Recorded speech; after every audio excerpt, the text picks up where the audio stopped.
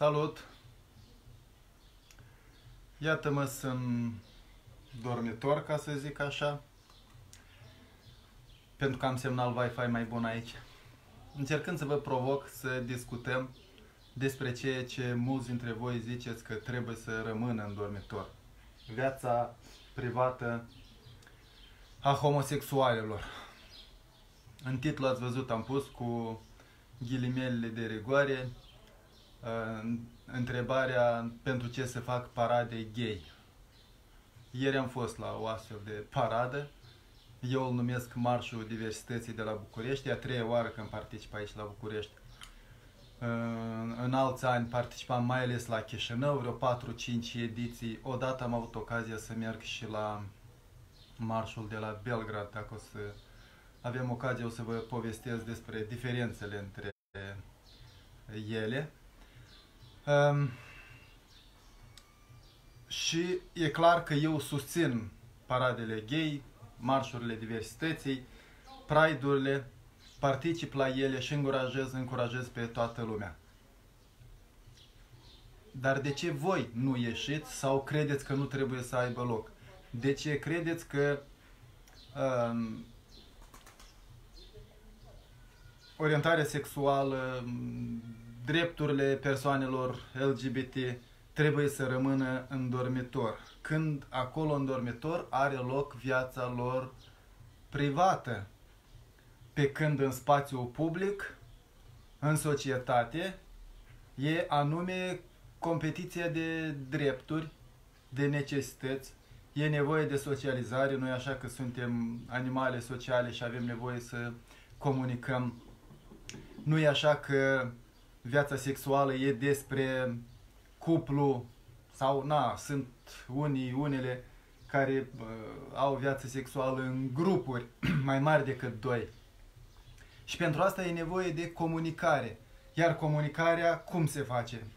Spunând, șoptit pe internet sau în gura mare, că ești gay, lesbiană, bisexual sau că ești transexual queer sau ce alte variante mai sunt acum incluse în uh, catastiful acela de identități sau orientări sexuale. Nu e așa că trebuie să vorbești despre asta dacă vrei să te cuplezi cu oameni ca tine?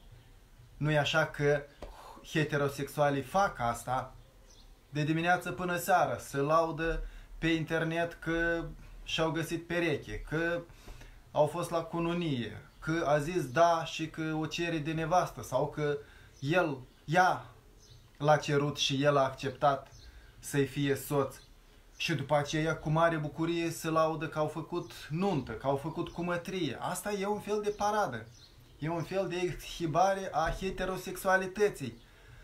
Nu e așa că la școală, la grădiniță, în familie, um, li se spune mereu copiilor că o să crești mare, o să te căsătorești, o să faci familie și li se vorbește despre o familie heterosexuală și asta e tot un fel de paradă.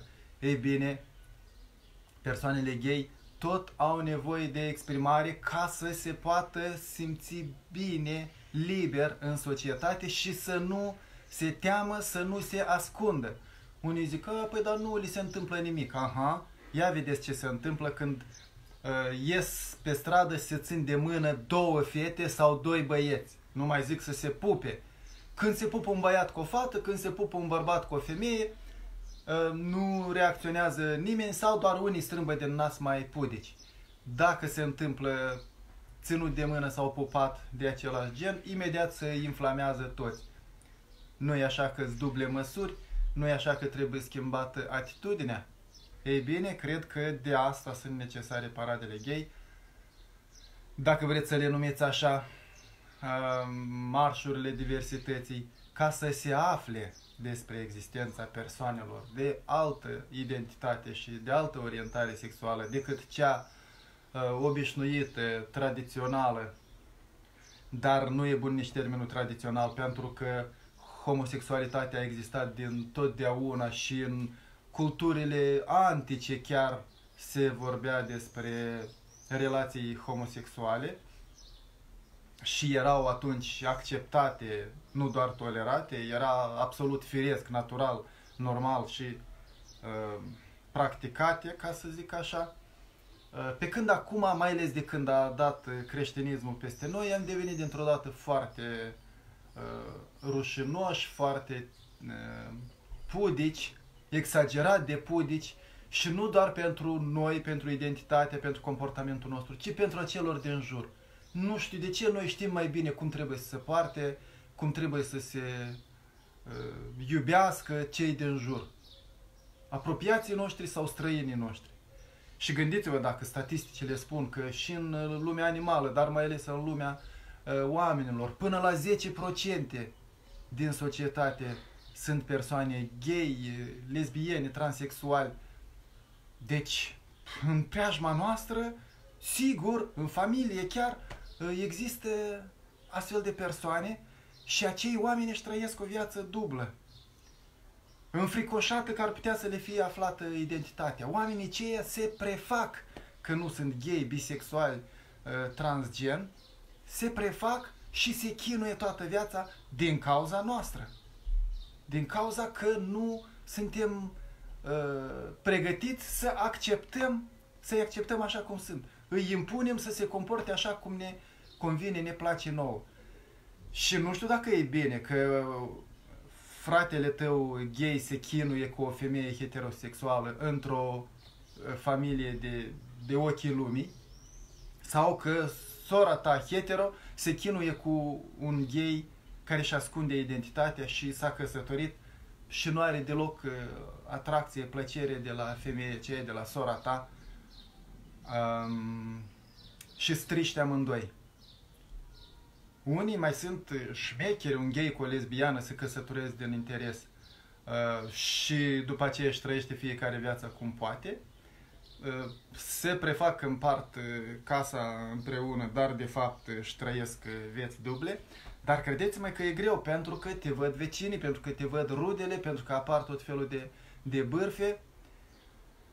Și de asta e necesar uh, marșul diversității, așa numitele parade gay. În Occident sunt chiar festivaluri, carnavaluri și oamenii își trăiesc diversitatea și libertatea și dansează și cântă și chiuie și acolo se duc să se întâlnească, să se cupleze, să se uh, despartă. Uh, pe când la noi, încoace mai spre est, sunt mai degrabă un fel de marșuri de protest, pentru că există prea multă homofobie, pentru că există tra- transfobie, pentru că există violență la adresa persoanelor de acest gen.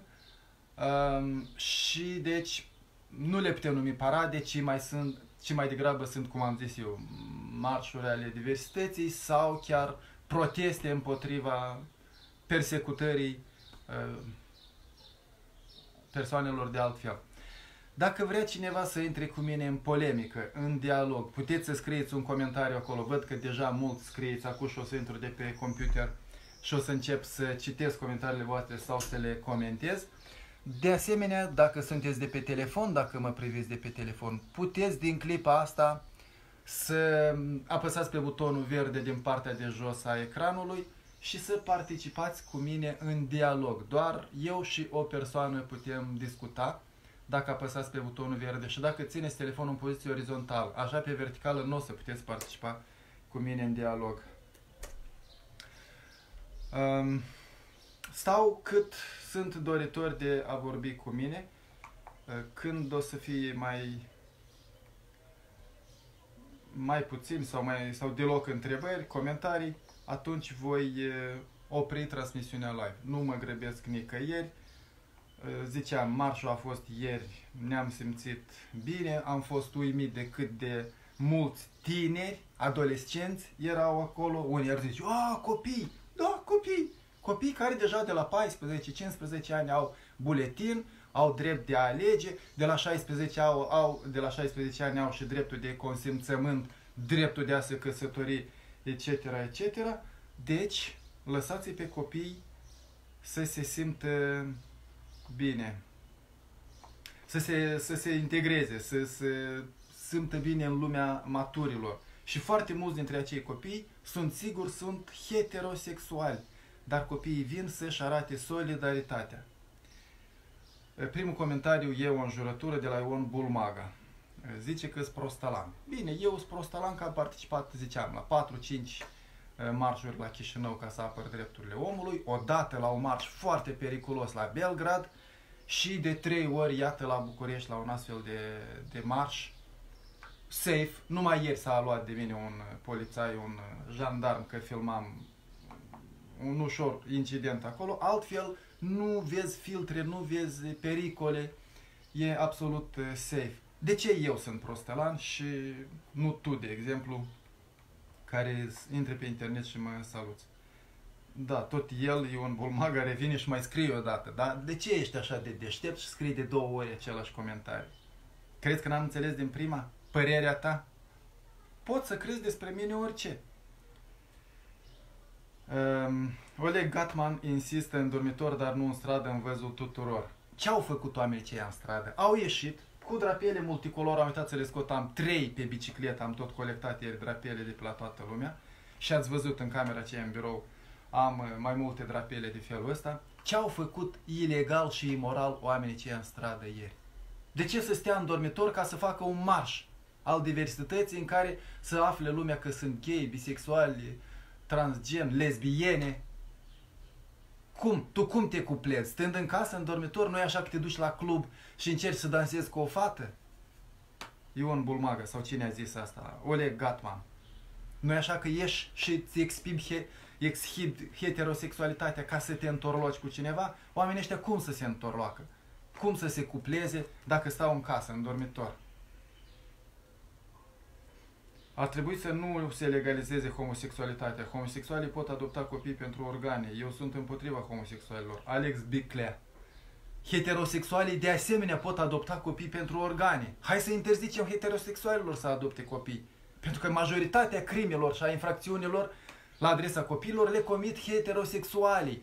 Violența în familie se face de regulă de către părinții heterosexuali ai copiilor. Hai să interzicem părinții. E absolut aberant ce spui tu. Și uh, nu putem interzice hetero, homosexualitatea pentru că uh, e absolut normală și civilizată. A fost decriminalizată în anii 70, se pare, prima dată. Și ar fi un regres al democrației, al civilizației să interzicem chestia asta. Iar adopția de, de copii e permisă și acum unor indivizi care ar putea să fie gay, nu-i caută nimeni dacă sunt lesbiene, gay. Deci dacă o persoană poate adopta un copil, să știți că acea persoană poate fi chiar uh, homosexuală și să știți că acei copii se pot simți chiar mai bine cu un părinte homosexual decât cu unul heterosexual, dar bețiv, bătăuș, violent sau prost, care nu știe să-și educe copilul, mai ales când ajunge la vârsta întrebărilor și îi zice, taci din gură, așa trebuie. Nu așa se educă copiii. Dumnezeu a creat bărbat și femeie. Da, Alex Biclea. Și unii dintre bărbați sunt atrași de bărbați, unele dintre femei sunt atrase de femei, unele dintre astfel de persoane au chiar caracteristici de gen ambele împreună sau inițial se părea că arată a femeie și medicii au zis că e femeie, i-au pus nume de femeie, l-au botezat ca femeie și după aceea s-a constatat că are cam toate ce trebuie unui bărbat și acea persoană se numește trans, da? Deci, dacă crezi în Dumnezeu, să știi că Dumnezeu a creat lumea imperfectă, a, a creat și bărbatul și femeia imperfectă. Da, bine, hai să rămânem la mitul celălalt tău. Adam și cu Eva au avut trei copii, da? Abel, Cain și cu Set. Bine că Cain l-a omorât pe Abel, să zicem că aceia n-au mai avut eh, copii. Dar Cain și cu Set, cu cine au făcut copii? Cu mama cumva sau cu vreo soră de-a lor? Nu vă pare că e aberantă povestea aceea pe care voi o credeți? Povestea aceea a fost scrisă cu mii de ani în urmă de niște triburi migratoare de păstori evrei. Cum puteți să o credeți acum în mileniul 3? Nu vi se pare cam primitivă? Hai, vă rog, luați-vă în mâini. Ioan, fii bărbat. O să încerc să nu citesc saluturile, înjurăturile și polemicile între voi. O să citesc doar întrebările. Valeriu Valeriu mă înjură și aș putea să-l blochez, să știe că există pe internet destule instrumente ca să-l denunți uh, adminilor și omul să nu se mai poate exprima mult timp sau în vecii vecilor dacă e foarte violent. Uh, sau pot să-l blochez să se exprime pe site-urile lui de gopnici, homofobi, uh, habotnici. Grigore Cârlig întreabă, uh, parcă eram sănătos, ce cu mine? Nimeni nu suntem sănătoși, toată lumea are câte o ciupercă în unghie de la picior, câte un fir de păr desfăcut și astea de către medici sunt considerate maladii. Pe când homosexualitatea, ziceam, din anii 70 nu mai e considerată boală și dacă mă suspectați pe mine că aș fi gay, să știți că nu sunt, n-aș fi bolnav din, din cauza asta.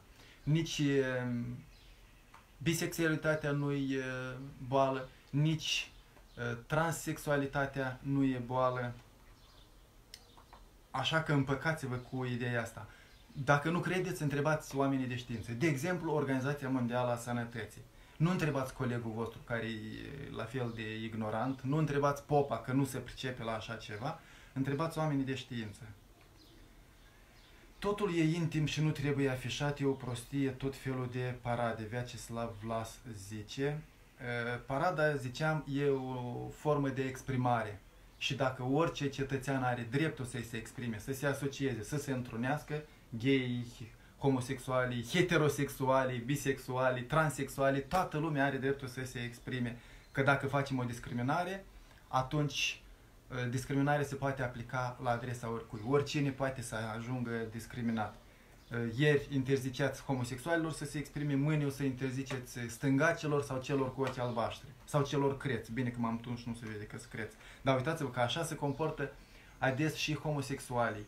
Își taie părul atât de scurt încât să nu se vadă că e creț. Sau se chinuie să lucreze cu dreapta ca să nu se vadă că e stângaci.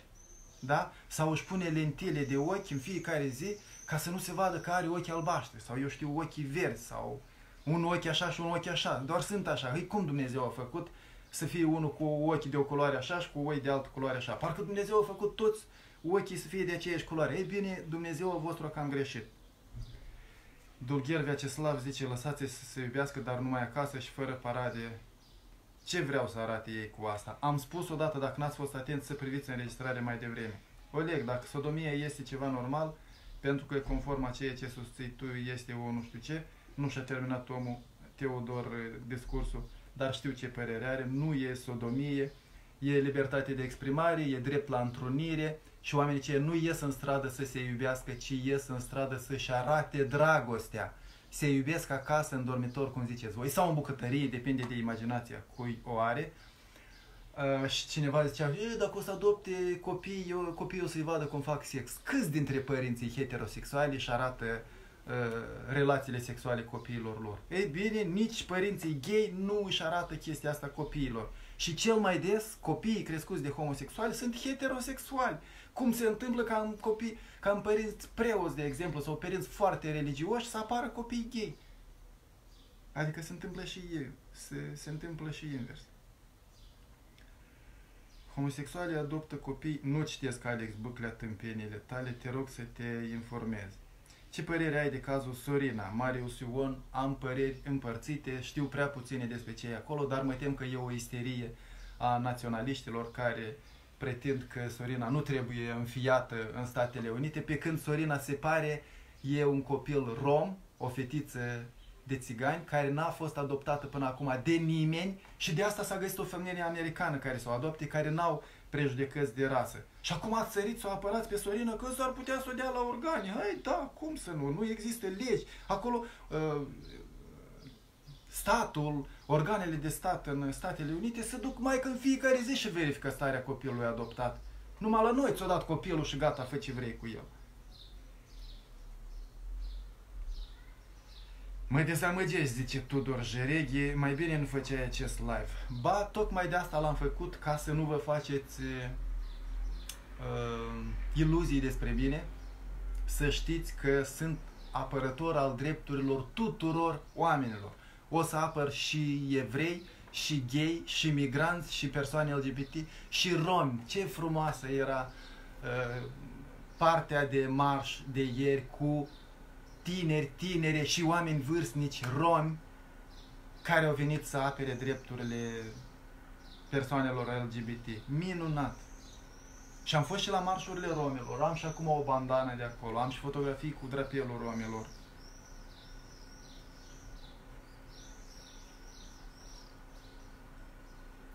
Te urmăream cu drag, dar de acum nu. Elena Negru, îmi pare rău, eu sper să revii asupra acestei decizii. Eu apăr drepturile persoanelor LGBT de vreo 15 ani. Mă mir că n-ai aflat până acum și promovez uh, exprimarea cu curaj pe orice temă. Oleg, ce orientare ai? Nu vreau să afișez orientarea mea, vreau să rămână un mister. Mi se pare uh,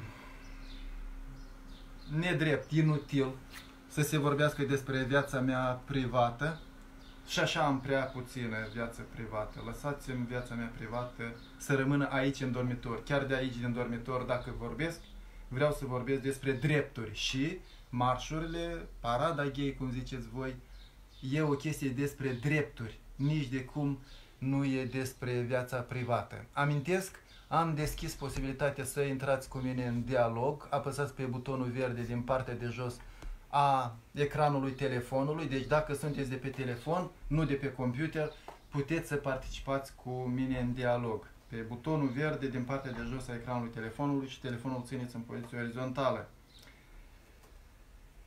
Oleg e ateu. Da, asta nu ascund, chiar dacă face parte din viața mea privată, dar sunt ateu dezbotezat și mă mândresc cu asta. Din ce partid sunt ei? Întreabă Anatol Cociuc și nu știu la cine se referă, dar ieri la marș. Am văzut lozinci de la Alianța 2020, adică USR Plus, două partide, care au ajuns acum în Europarlament, iar unul e reprezentat în Parlamentul României, în opoziție, și de la Demos, un partid nou creat de stânga, care încă nu are reprezentare în organele de stat, dar care m-am, m-am bucurat să-l văd acolo cu reprezentanții, cu bannerul lor. Băi, tu vorbești de niște oameni bolnavi mental, tu înțelegi asta? E un bulmaga. Tu înțelegi că nu sunt oameni bolnavi mental? Că ești dezinformat sau prost informat? Întreabă specialiștii. Am zis, nu orice medic habotnic care a ieșit acum de la biserică, întreabă Organizația Mondială a Sănătății. Și Organizația Mondială a Sănătății zice homosexualitatea Bisexualitatea, transexualitatea e o formă normală, naturală de sexualitate. Și sunt multe altele, mai puțin răspândite.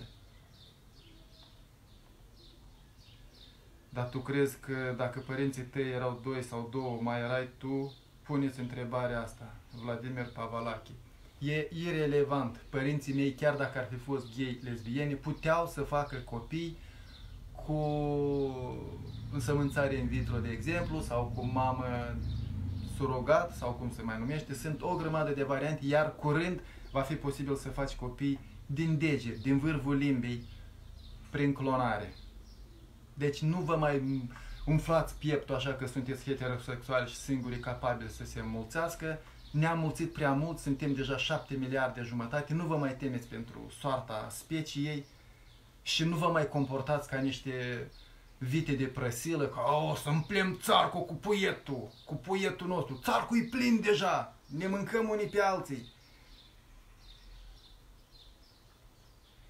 Dar tu crezi că dacă... A, s-am înțeles. Acasă se facă orice în stradă, nu-i normal. Eu nu vreau să merg pe stradă și copiii mei să vadă așa ceva. Vanioc, vanioc ce să vadă așa ceva? Uite la videourile mele, transmisiunile live de ieri de la București sau iată pe internet caută transmisiunile live de azi de la Kiev. Ce să vadă așa ceva? Niște oameni cu drapele, niște oameni radioși, bucuroși. Nu vrei să vadă copiii asta pe stradă? Vrei să o vezi pe soră ta, ziceam, care s-a căsătorit cu un, cu un gay mascat, ascuns, să chinuie toată viața? Asta vrei? Eu cred că nu știi ce vrei. Sau fiică ta, vrea să mări, să mărite cu un gay mascat, ascuns, nedeclarat.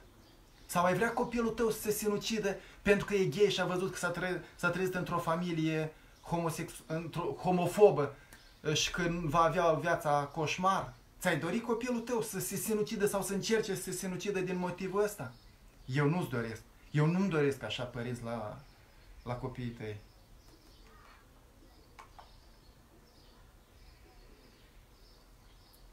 Este corect, într-o societate normală, fiecare își vede de treaba lui și nu suflă în borș la altul. La urma urmei, fiecare ce vrea, aceea face cu curul său. Dan Gurdiș. E un stereotip să vorbești despre drepturi și să te gândești la cur. S-ar putea să ai prea puțină informație la tema asta, de aceea mai informează-te. Ghenadie Opre mă întreabă dacă am copii, nu-i treaba lui. Vadim Pavalache zice că oamenii ăștia trebuie castrați și eu vreau să îl informez că orice tratament fără voia omului e ilegal, imoral și necivilizat. Tu crezi că o să, te, o să se legalizeze homosexualitatea în România? Alex Bâclea, vreau să te informez că homosexualitatea e legalizată de 25 de ani sau aproape 30 de ani. De foarte mult timp România, de când a vrut să adere la valorile democrației, a vrut să adere la Uniunea Europeană, a legalizat homosexualitatea.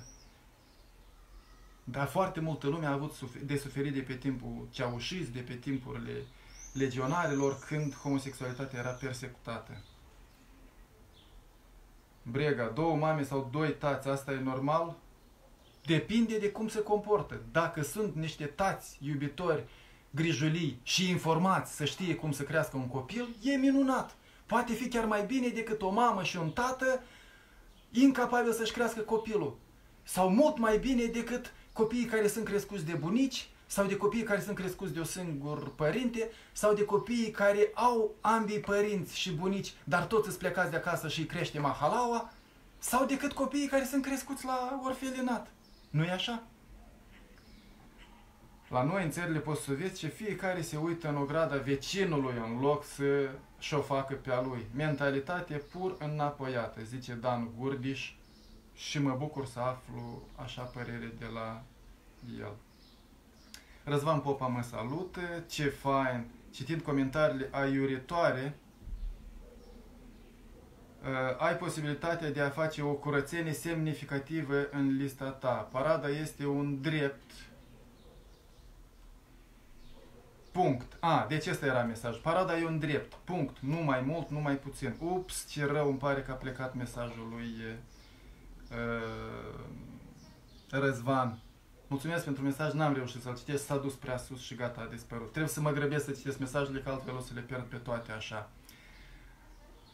Eh, dar eh, o replică lui Răzvan, totuși nu fac astfel de curățenie pentru că, după cum vedeți, eu îmi sacrific imaginea, șansa de a ajunge vreodată în Parlament sau în vreo funcție publică, pentru că eu vreau să educ oamenii din jurul meu, chiar dacă nu am vocație de pedagog, dar vreau să schimb societatea din jurul meu înspre bine ca să fie bine pe timpul vieții mele sau măcar imediat după ce voi muri eu, chiar dacă nu am urmași cărora să le las această stare de mai bine.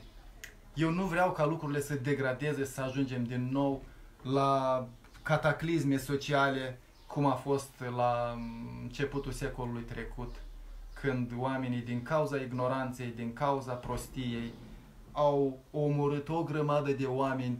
Amintiți-vă că Hitler nazismul a omorât întâi persoanele cu dizabilități, cum le ziceți voi, calicii, pe gay, după aceea pe evrei, după aceea pe romi și după aceea trecea la alte categorii și ar fi omorât o grămadă de oameni pentru că e o sminteală, e o tâmpenie, ideea asta nazistă, rasistă, xenofobă sau homofobă.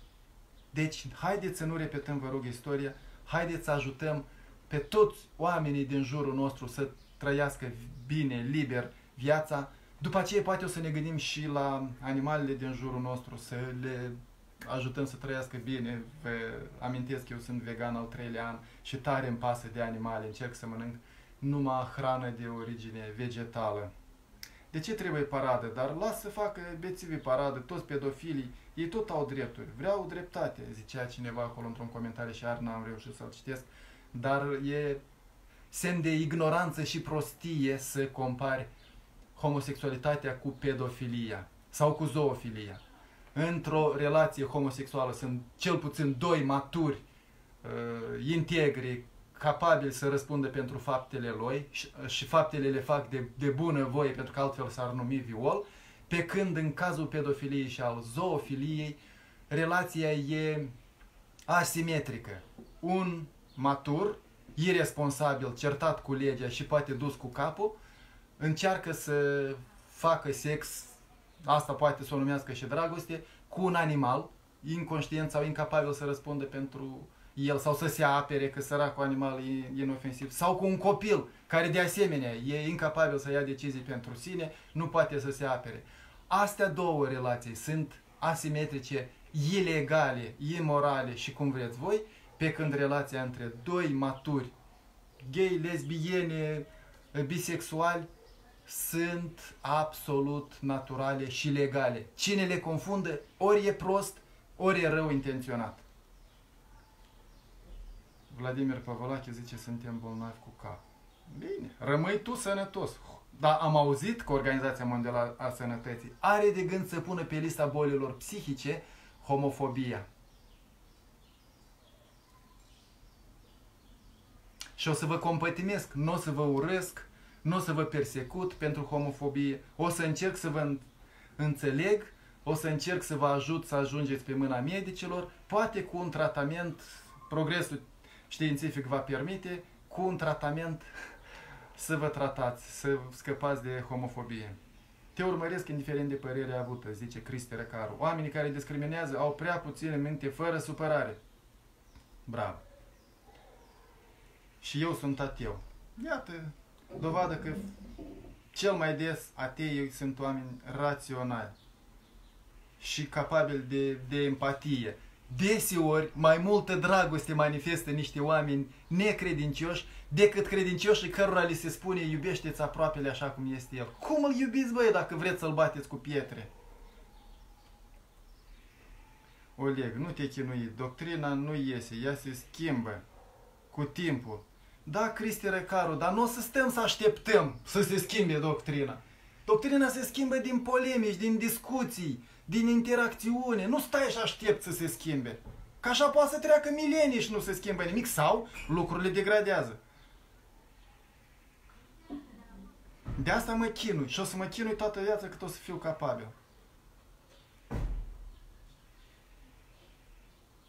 Spune de ce ai abordat această temă. Pentru că ieri am participat la un astfel de marș și pentru că azi am urmărit cu sufletul la gură alt marș la Kiev, unde știu că deseori erau provocări și violențe. La București și la Kiev au fost marșuri de 10.000 de oameni în stradă, pașnici, frumoși, minunați, optimiști. Voi de ce nu participați la astfel de marșuri?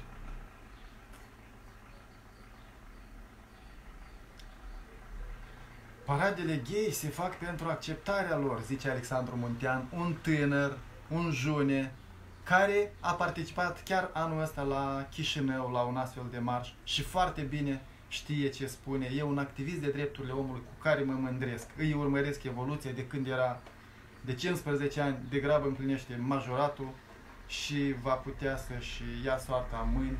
Cred că va fi un cetățean extraordinar, exemplar, foarte bun. Am încredere că viitorul va fi frumos cu Alexandru Muntean ca cetățean alegător, contribuabil la bugetul de stat. Paradele gay se fac pentru acceptarea lor așa cum sunt în societate. Oamenii copți la minte pot explica copiilor ce înseamnă homosexualitatea. Bravo, Alexandru Muntean! Și de asta e bine să se vorbească, ca oamenii să nu creadă că e, la marșul gay au venit 50 de homosexuali din Europa, că noi nu avem așa ceva. Cum zice, de exemplu, Kadyrov, nu? Zice, noi în Cecenia nu avem gay. Au venit câțiva de psihotare și i-am împușcat sau i-am spânzurat și gata, și nu mai sunt. Nu e adevărat. Trebuie să se vorbească, pentru că gay există în orice societate și în toate timpurile. În unele timpuri când e voie, oamenii ies, se cunosc, scriu cărți, se fac filme despre ei, când nu e voie, oamenii se ascund și se prefac. Care societate credeți că se dezvoltă mai bine? Când gay se prefac și se ascund sau când gay se simt liberi și se manifestă în, în deplinătatea capacităților lor intelectuale? Știți câți artiști au fost sau sunt gay? De ce nu lăsați pe oamenii ăștia? Poate un pic mai sensibili, poate un pic mai cu imaginație mai bogată. De ce nu lăsați să se exprime?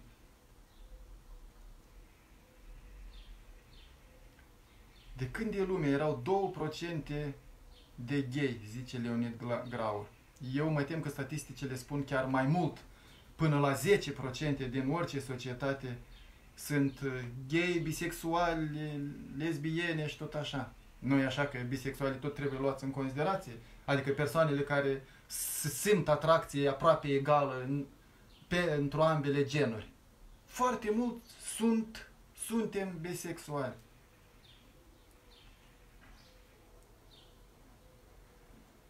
Ai prieteni, întreabă Peter John. Am mulți prieteni și prietene.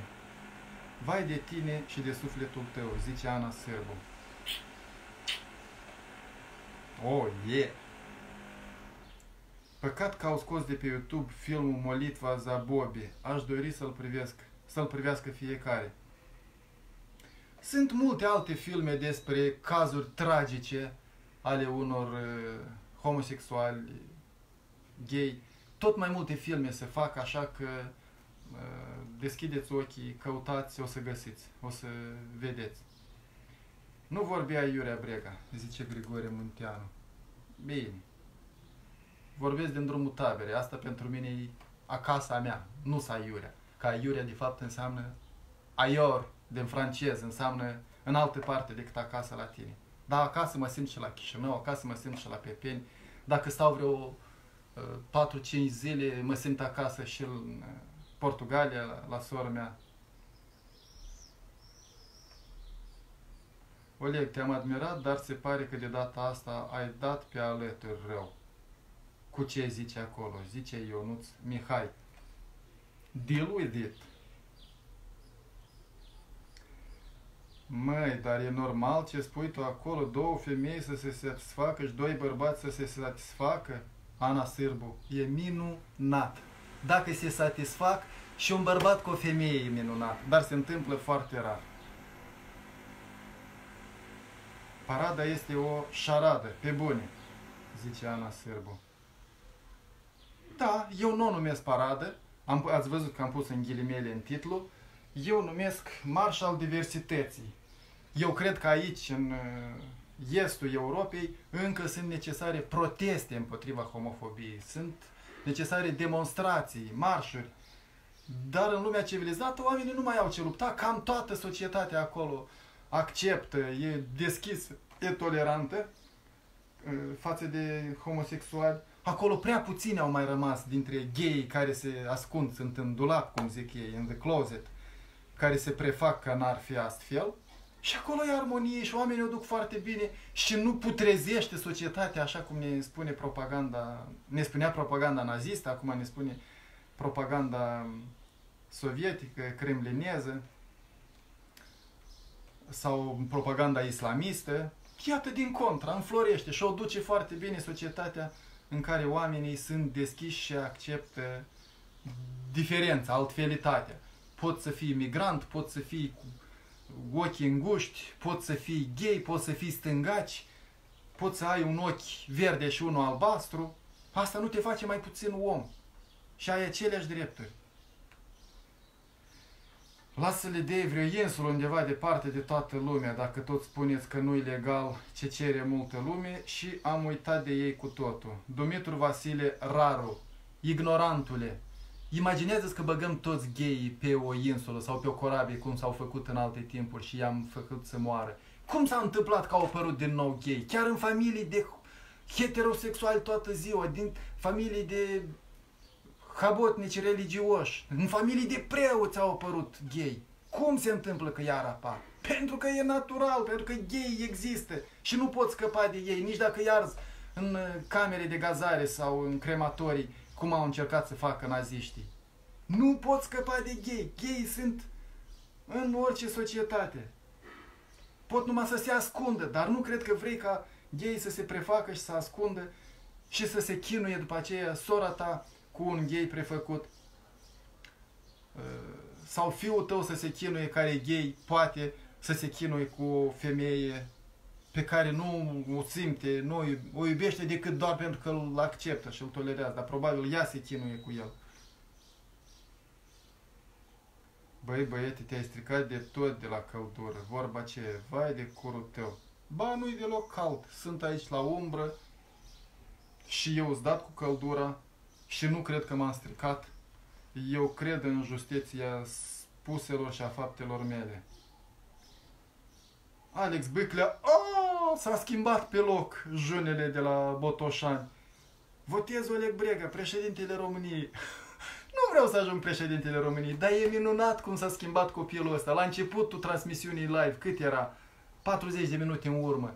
Zicea tâmpenii despre gay și acum uitați-vă. A început să-i placă și e gata să mă voteze. Sergiu Gociu zice, n-am bani. Bă, am niște bani și mi-ajung de viață, dar nu trăiesc ca să am bani. Cum nu trăiești ca să mănânci? Ce mănânci ca să trăiești? La fel și eu. Fac bani cât îmi trebuie. Și îmi trebuie cam puțin să merg cu bicicleta, să mănânc vegetal și eventual să mă mai duc din când în când la un film. Mai mulți bani nu-mi trebuie, dar voi care sunteți sclavii banilor, ai burților, ai tradițiilor, e treaba voastră. Eu zic să vă luați în mâini. Liechtenstein Eugen zice, nebun. Probabil se uită la oglindă și zice, nebunule, care ești tu? Grigore Munteanu. Așa persoane trebuie izolate pentru că prezintă pericol real pentru societate. Cine eu? Sau fiică ta? Sau frate tu? Ea încearcă și izolează. De asta e bine ca gay, bisexuali, transexuali să iasă din frică, să iasă din dulap și din anonimat. Pentru că rudele lor pe loc, rudele, prietenii, colegii lor de serviciu, pe loc își vor schimba atitudinea față de homosexualitate. Cât timp nu cunosc pe nimeni gay, lesbiană, bisexual, zic, e, da, ăștia nu există sau sunt invenții europene. Nu e adevărat. În orice societate există astfel de oameni. Și lucrurile se vor schimba când gay vor ieși din anonimat și vor zice, da, sunt gay, respectați-mă așa cum sunt, că dacă nu, eventual plec de la voi. Și ai unde să pleci acum, granițele sunt deschise. Și oamenii cei o să rămână cu regretul că te-au făcut să pleci cu simțul vinovăției și o să-și schimbe atitudinea față de homosexualitate. Ua, ce lume importantă mă privește și mă bucur. Iată, e o idee bună să fac live-urile și la amiază și duminica. Că până acum făceam seara, de la ora 21, pe YouTube, pe Facebook făceam seara. Dar în weekend văd că oamenii sunt acasă și mă privesc. Și oameni importanți, interesanți.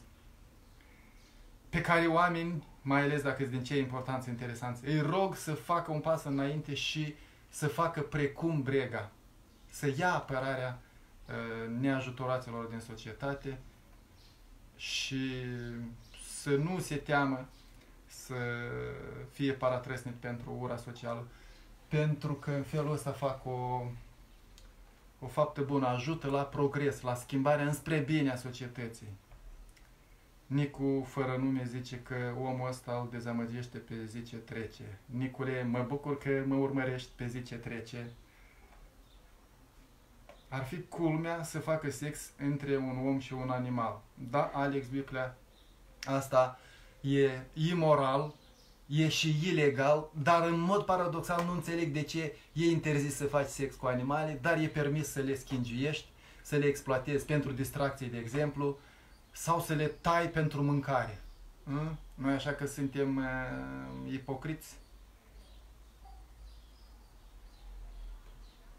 Eu nu zoofil, dar carnea să o mănânc îmi place. Sergiu Gociu, taman la temă, zice. Da, uite, ipocrizia. De ce nu-ți place să faci sex cu o capră, dar îți place să o mulci, să o tragi de țâțe? Sau să iei gâtul și să-i mănânci cărnița? Mie îmi pare la fel de trist și una și alta. și eu să fiu activist civic când o să împlinesc 18 ani. Alex Băclea, adineauri ți-am vorbit despre colegul meu din Hyde Park, uh, Alexandru Muntean, care de la 15 ani e activist. Și încă n-am plinit 18 ani, în august abia împlinește. Nicu fără nume. În vest ce e mai rău de la SUA și UE? Ce fel de drepturile omului? Degradat. Lasă să stea acasă, să se simte liber la ei acasă. Tocmai că stând în casă nu te simți liber. Te simți oprimat, te simți marginalizat.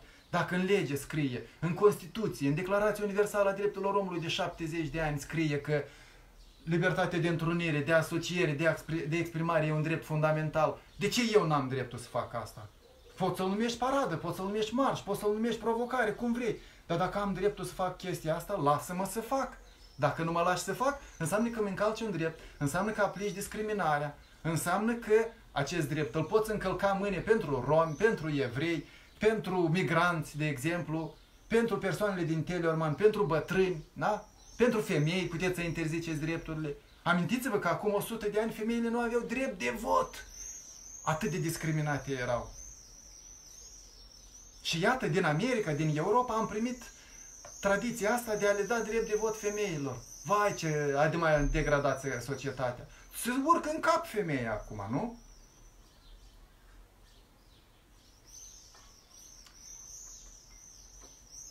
Acei homofobi, uitați-vă pe harta ce țări au legalizat căsătoriile gay. Uitați-vă ce trai, nivel de viață au și ce putere în lume au. Și de ce Facebook îl utilizați dacă Mark tot susține persoanele LGBT, zice Varia Dixon. A? Cineva zicea, e un păcat, o să vă bată Dumnezeu, pentru că Dumnezeu nu a dat uh, homosexualitatea. Dar Dumnezeu a dat internetul și telefonul mobil. Nu scrie nicăieri în Biblie chestia asta. Stați de acolo, acolo, la cratiță, în peșteră stați, ca pe timpul când s-a scris Biblia. Că Dumnezeu nu a scris. De parcă Dumnezeu a scris Biblia aceea, nu tot niște oameni încuiesc la minte de atunci. Na, atunci erau oameni luminați care au scris cărțile cele. Dar între timp, societatea a evoluat și cărțile cele au rămas prăfuite, vechi, sângeroase, care ar trebui ignorate sau citite critic. Acei homofobi, am citit asta, toți au dreptul la iubire, zice Agafia Onuță. Da, Agafia, mulțumesc pentru drapelul cela multicolor și cu pace pe el, a rămas la Trușeni, trebuie să fac rost de el, să-l aduc, să-l mai folosesc la Pride-uri. Pe de, al, pe de altă parte, aveam drapel în, în casă, puteam să-l iau, dar am mâinile ocupate, merg la Pride cu bicicleta, am în mână un telefon, în altă mână camera de filmat și nu prea am unde să mai țin și drapelul. Și nu mi se pare corect să legi drapelul pe umăr, simplu înfășurat în chestiile alea colorate. M-am bucurat, îl, țin, îl afișez în fiecare zi în camera mea, apar deseori pe internet cu drapelul acela, uh, cu drapele ca acela. Și mulțumesc ca grafic că mi l-a adus atunci, din Italia se pare, Marina Nofit. Câtă ură manifestă unii credincioși, asta trebuie să, să, să vă dea de gândire, să vă întoarcă la interioarele voastre, să vă întrebați, să vă curățați personalitățile voastre înainte de a arăta spre alții foarte des se întâmplă ca anume niște gay refulați, niște persoane cu probleme de sexualitate, arată cu degetul la alții, acela e gay, acela e lesbiană, acela e sodomit. ca să nu fie ei suspectați că fac câte ceva în dormitor. Să nu vă amintesc ce, ce fac băieții și fetele care se duc la mănăstiri de maici și de călugări. De ce sunt împărțiți acolo pe sexe? De ce stau împreună doi băieți într-o chilie? A? Oare? De ce sunt atât de ipocriți și apără homosexualitatea, homosexualitatea doar la mănăstire și nu și în uh, societate? De ce ei au voie să îmble cu rochițe și alți băieți nu au voie să îmble cu rochițe? A? Cu rochițe aurite, cu bucurii. Diana Iepure mă salută. A, mult noroc în drumul taberei. Mersi, credeam că ești și tu în drumul taberei. Un bisexual mi-a schimbat viața. O persoană cultă, corectă, deschisă, zice Agafia Onuță. Mie mi-a schimbat viața un homosexual. o persoană sensibilă, cultă. În preajma mea ai deschis ochii. Eu eram așa, un, un homofob de, de ocazie. Înjuram și eu de pidaraj, de câte și mai câte. Până când omul acela și-a luat inima în din și a zis, băi, tu mă înjuri pe mine, eu sunt gay. Și am rămas mut. Și de atunci m-am luat în mâini, m-am schimbat și am început să apăr oamenii. Pentru că oamenii ăștia există și spre între noi. Și am cunoscut după aceea foarte mulți gay, lesbiene, bisexuali, transexuali, foarte de treabă. Chiar aici în bloc, în apartamentul celălalt, am o persoană trans. Un bărbat care avea familie, avea două fetițe și care s-a constatat, s-a manifestat ca transexuală, a decis să se comporte ca femeie pentru că se simte femeie și nevastă l-a abandonat. Și a rămas ea acum, fostul bărbat, femeie trans, își crește fetițele foarte bine. I-am văzut împreună ieri la marș, la Pride. Minunat! Și văd că e aici armonie pe scara blocului, nu se ceartă nimeni, nu-i urăște nimeni. Minunat! Omul lucrează, femeia face Uber, taxi, parchează mașina aici sub geamul meu în fiecare seară, pe la ora 1 vine târziu de la lucru pentru că lucrează în tura a doua. Nu vrea nimeni să participe cu mine în dialog, înțeleg, da, e temă delicată și n-ați vrea să vă afișați cu brega alături când apără uh, drepturile omului. Dacă vrea cineva să participe în dialog, apăsați pe butonul verde din partea de jos a ecranului telefonului mobil. Și am putea să dialogăm. Putem să și polemizăm.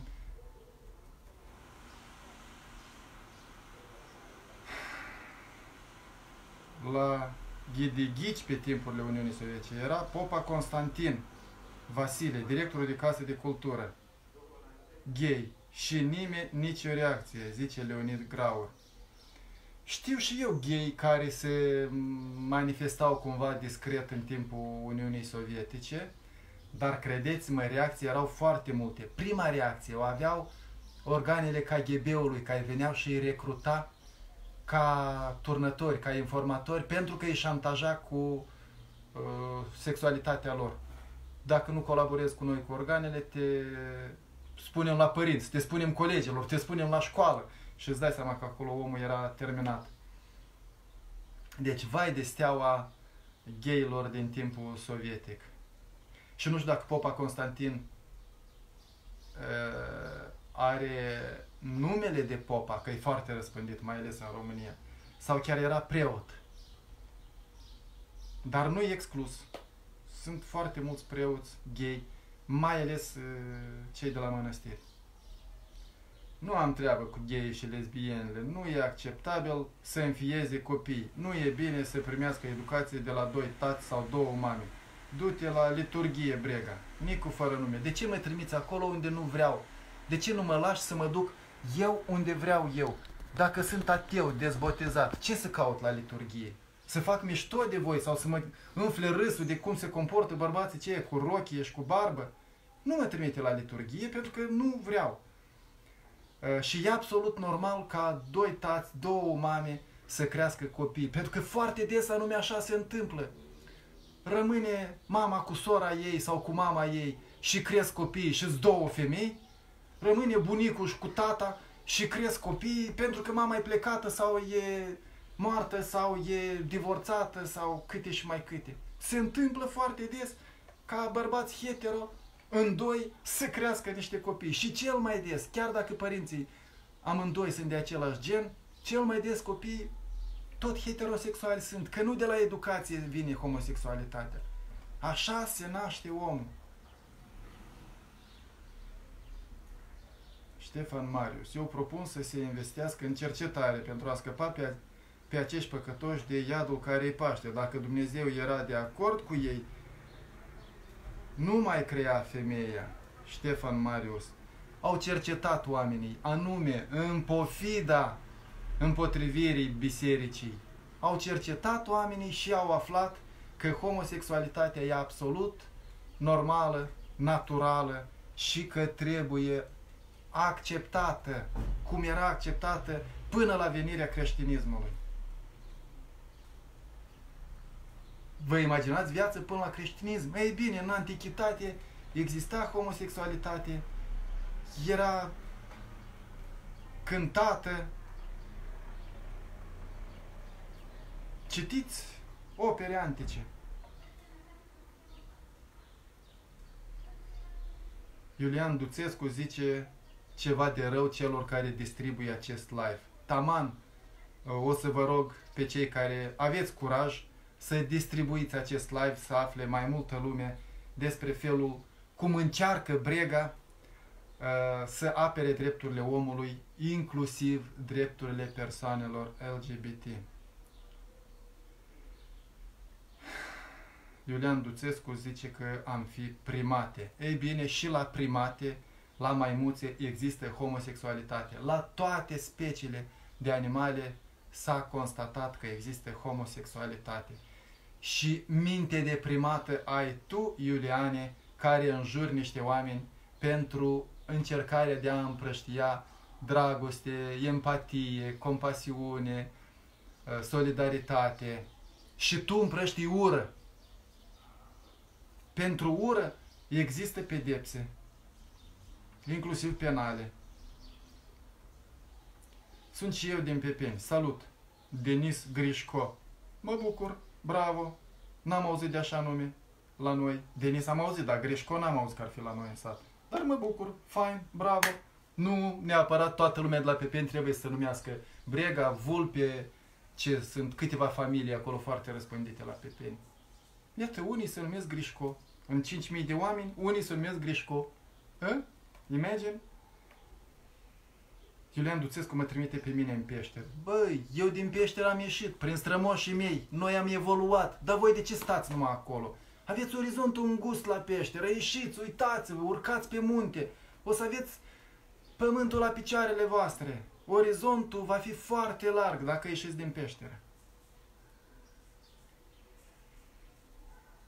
Și că de ce te fute grija de alții? Cum să nu mă bă, dacă suntem în societate, suntem într-un sat mai mare, se numește planeta Pământ, dacă faptul ce fac alții mă afectează pe mine, de exemplu poluează, de exemplu încalcă drepturile altora, cum să nu mă... Mă, foarte tare. Asta se cheamă viață socială. Și dacă voi vă bateți joc azi de un grup social sau de un individ, mâine o să vă bateți joc de alt grup social sau de individ, Păi mâine să ajungeți la mine. De asta îmi pasă. De asta mă fute. Interesul pentru alții, grija de alții. Suntem în societate și trebuie să conviețuim. Și să conviețuim cu respect pentru ceilalți, cu grijă, cu dragoste, cu empatie, cu solidaritate. Altfel vom reveni la vremurile din secolul trecut când îi împușcam, îi băgam în uh, țeapă, îi spânzuram, pe unii pentru că s-au născut gay, romi, evrei. Vedeți-vă de viața voastră, zice Nicu. Ce face? A, bagă cu și laptopul în priză. Sau poate e timpul să închid. Nu, sunt mai mult de 100 de oameni. Bagă întâi laptopul în priză.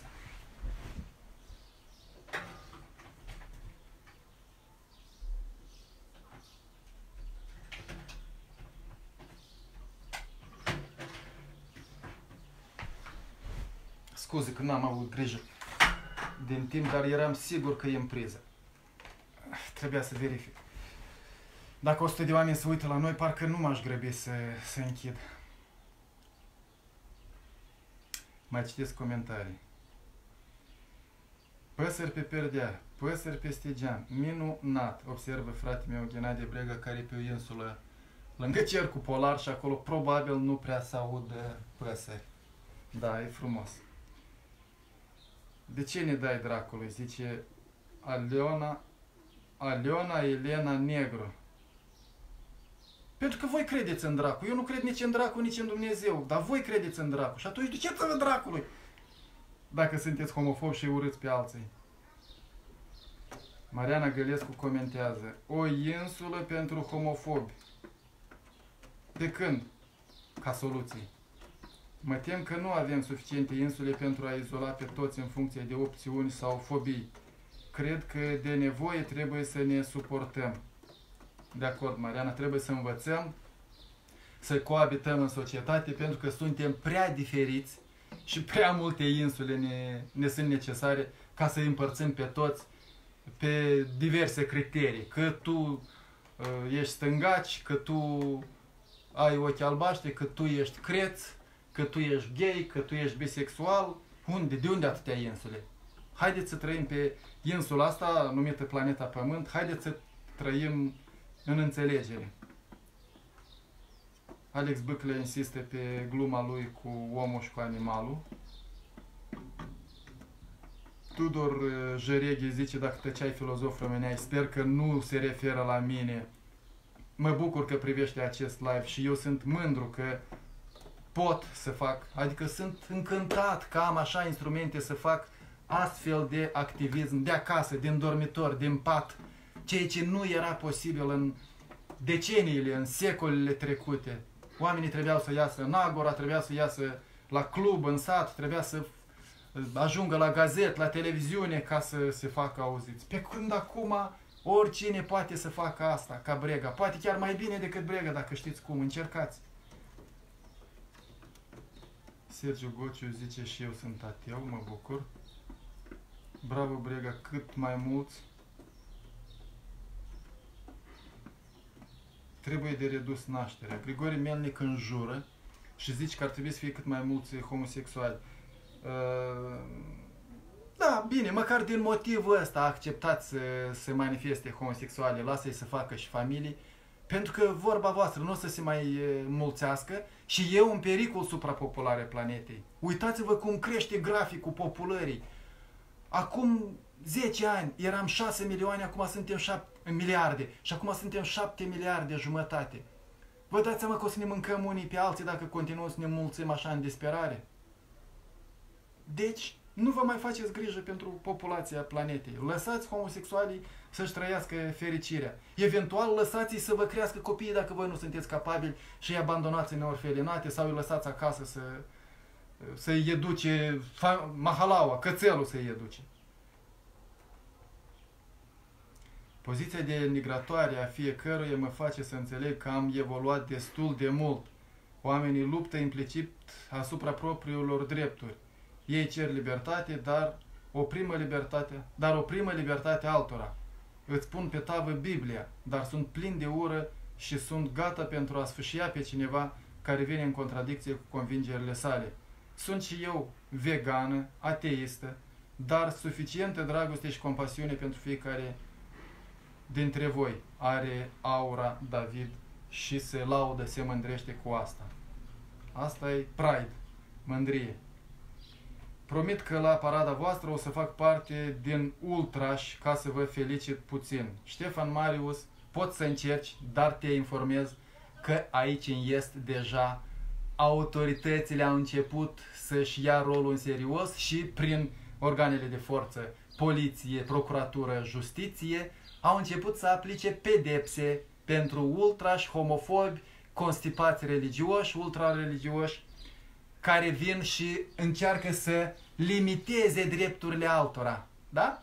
Și o să te trezești cu un dosar penal și o să stai un pic la răcoare și de acolo s-ar putea să ieși un pic mai înțelept și o să zici, ei, băi, dracului să facă ce vor, că nu mă mai duc cu ultra și ce. Trebuie mie să stau la pușcărie pentru libertățile altora. Da? Ștefan Marius. Du-te cu ultra și faceți proteste, dar nu încălcați drepturile altora. Valeriu Gușan zice că el a trimis cerere să participe cu mine în dialog, dar nu a mers treaba. Mm, nu știu de ce. Hai să încerc să-l invit eu, dar pe Valeriu Gușan. Adaug. Și poate așa o să meargă mesaj ca să știu că vreți să participați. Ce drepturi aperi tu, mă? Zice Bianca Rarinca. Drepturi... Nu numai eu, dar și Ghenadiu trimis cereri. Am înțeles prin comentarii. Da, Valeriu. Salut! Da, noroc. Zic, nu numai eu am trimis cereri, dar și Ghenadiu trimis cereri. Da, îmi pare rău. Înseamnă că Uh, merge.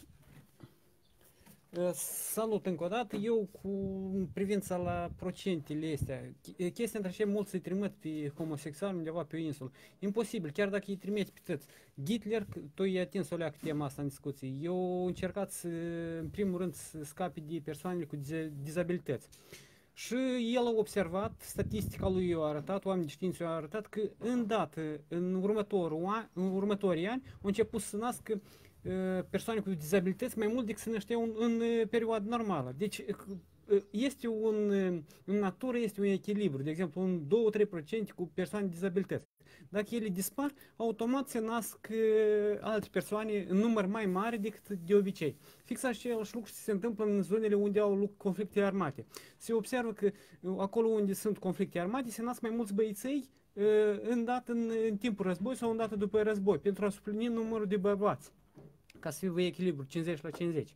Deci, multe experimente au avut loc, s-au demonstrat, dacă eu nu greșesc, învățatul și la Alexander, pare mi se numea, că în orice societate este niște legi, niște algoritmi pe care noi locuim, supraviețuim.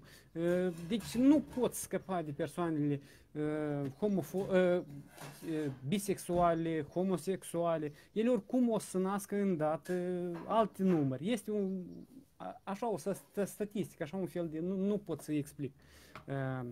Numărul ăsta. Și noi dacă să le nimicim pe toate, oricum ele să nască în anii imediat următori. Asta unul la mână am vrut să spun. Doi la mână, persoanele astea care se declară homofobii, gen turistul, care pe la televizor, pe la parade, congresurile astea lor a familiei să-și declară ură față de persoanele uh, homofobe. Ei nu fac nici de pe deget, nu fac ca... Bine când pers- două persoane uh, homosexuale se iubesc între ele cu, de comun acord, dar în pușcărie au loc uh, altă dragoste din viol. La ce ei se așteaptă când închid câte 20 de persoane într-o cameră uh, de același gen și fără a fi violuri.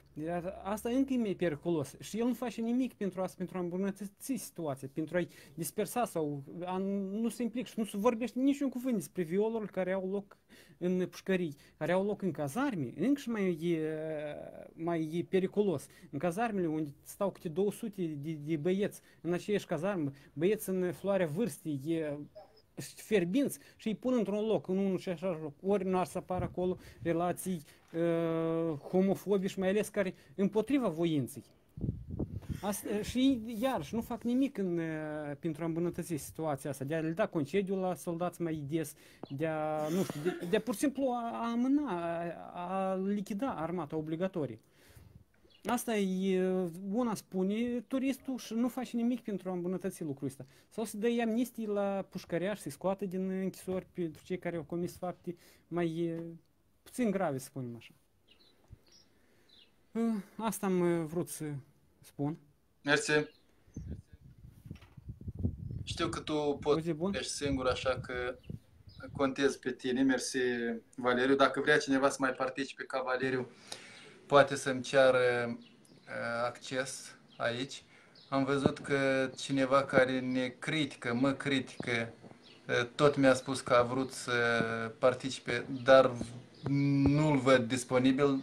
Ca să intre cu mine în dialog, trebuie să fii pe telefonul mobil și să apeși pe butonul verde din partea de jos sau dacă nu reacționează, văd că și Ghenadie și Valeria au încercat să facă asta, Vase Vișnevski, de exemplu, uh, scrie mesaj uh, și aș putea să te adaug eu cum am adăugat pe Valeriu să intre în dialog, dar trebuie, v-am zis, să fiți în poziție orizontală pe telefonul mobil, altfel de pe laptop, de pe computer, nu puteți participa în, dia în dialog.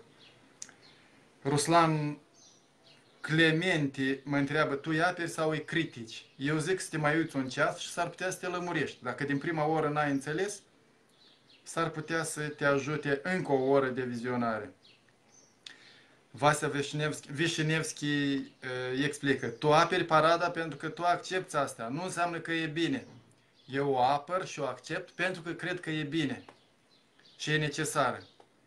Va, Vale Lozniceru zice, bă, tu ești bolnav? Da, e posibil, am răcit aseară uh, și am probleme cu stomacul.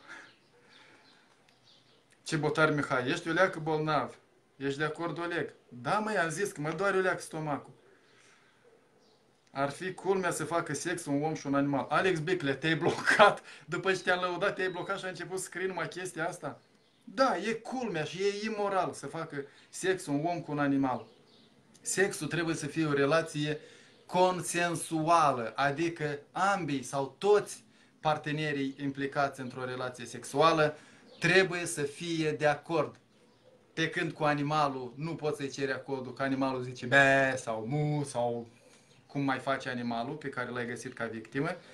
Și copilul tot așa, degeaba își dă acordul copilul cu tine, copilul nu are capacitate de exercițiu, nu are responsabilitate pentru gesturile sale și tot e ilegal și imoral să faci sex cu un copil.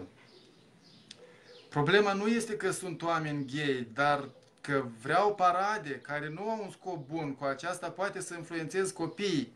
Vasia Vișinevski, în ce fel influențezi copiii? Că află copiii că există oameni gay? Dacă tu nu-i spui asta de acasă, dacă nu-i se spune la școală și de la televizor, lasă-l să afle măcar în stradă. Pentru că nu poți să ascunzi chestia asta, nu? Și în ce fel poți să influențezi copilul dacă oamenii de știință au spus copilul nu devine prin educație gay. Poate să se comporte ca un gay. Dar nu cred că își dorește cineva să fie marginalizat, să fie hăituit pentru că e gay.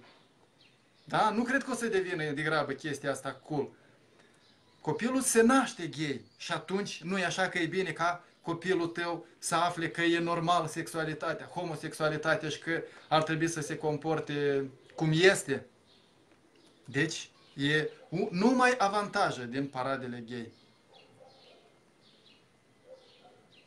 Ruslan Clemente, vezi dacă mai înjuri, aș putea, am zis, să te blochez. Zice că mâine o să faceți sex live și o să spuneți că e ceva normal. Eu zic să te iei în mâini, Vadim Paniș, și să înțelegi că noi nu cerem privilegii pentru persoanele LGBT, ci cerem drepturi fundamentale, iar dreptul de a ieși în stradă și de a protesta, de exemplu, e un drept fundamental. Dreptul de a te exprima ținându-te de mână și pupându-te ca alte persoane, ca heterosexuale, e tot un drept fundamental. Sex nu face nimeni, pentru că nu-i voie, nu-i legal. Nici nu cere nimeni să facă sex în stradă. Și nici nu cred că e tare plăcut să faci sex când îți vin toți în jur și îți dau sfaturi. Mie nu mi s-ar scula.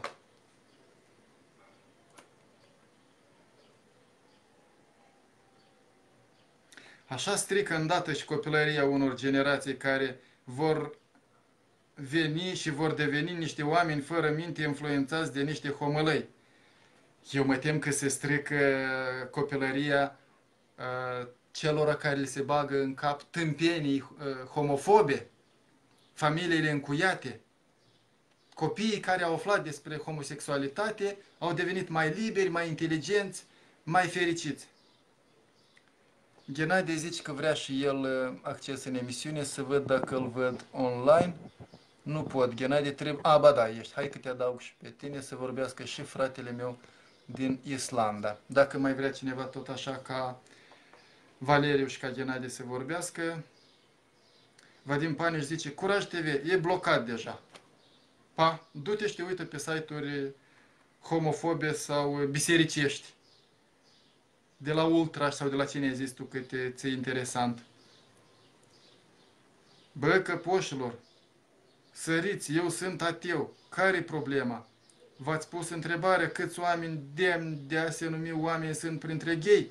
Și acum puneți-vă întrebarea, furând, violând, fiindu-vă în bască dacă cineva e înjosit, văzând o, văzând o pițipoancă minoră, puteți recunoaște că v-ați aprofunda în ea mediocrități.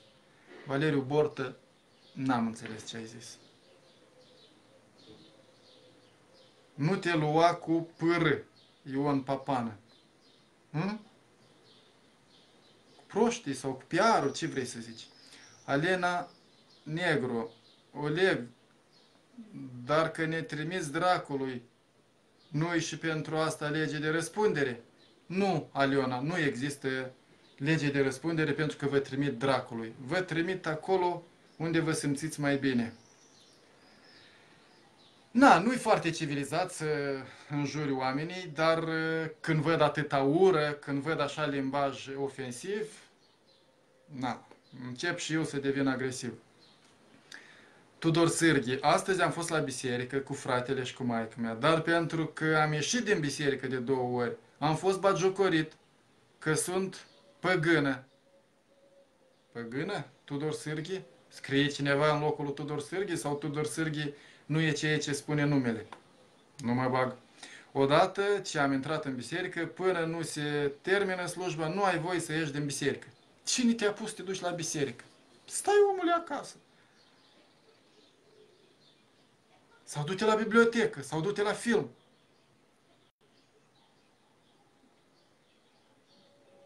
Dumnezeu a spus, creșteți și mulțiți-vă, zice Ionut Sârghi și Vadim Târsâne zice, trebuie să înmulțească. Ok. Cred că nu îți apăr, cred că nu ți apar solicitările noastre de acces în emisiune. Am încercat de mai multe ori, zice Ghenadie Brega, și văd că nu a mai participat, n-a mai acceptat să participe în dialog cu mine, chiar dacă i-a făcut o invitație, poate nu a fost atent, de ce îi mai fac o dată una, dar va fi ultima, că poate omul nu mai e disponibil și dacă o să refuze și sau o să o ignore și de data asta, înseamnă că nu o să mai insist. Eu nu înțeleg de ce societatea asta se bagă în viața altora. Priviți, privind LGBT, zice Sofia.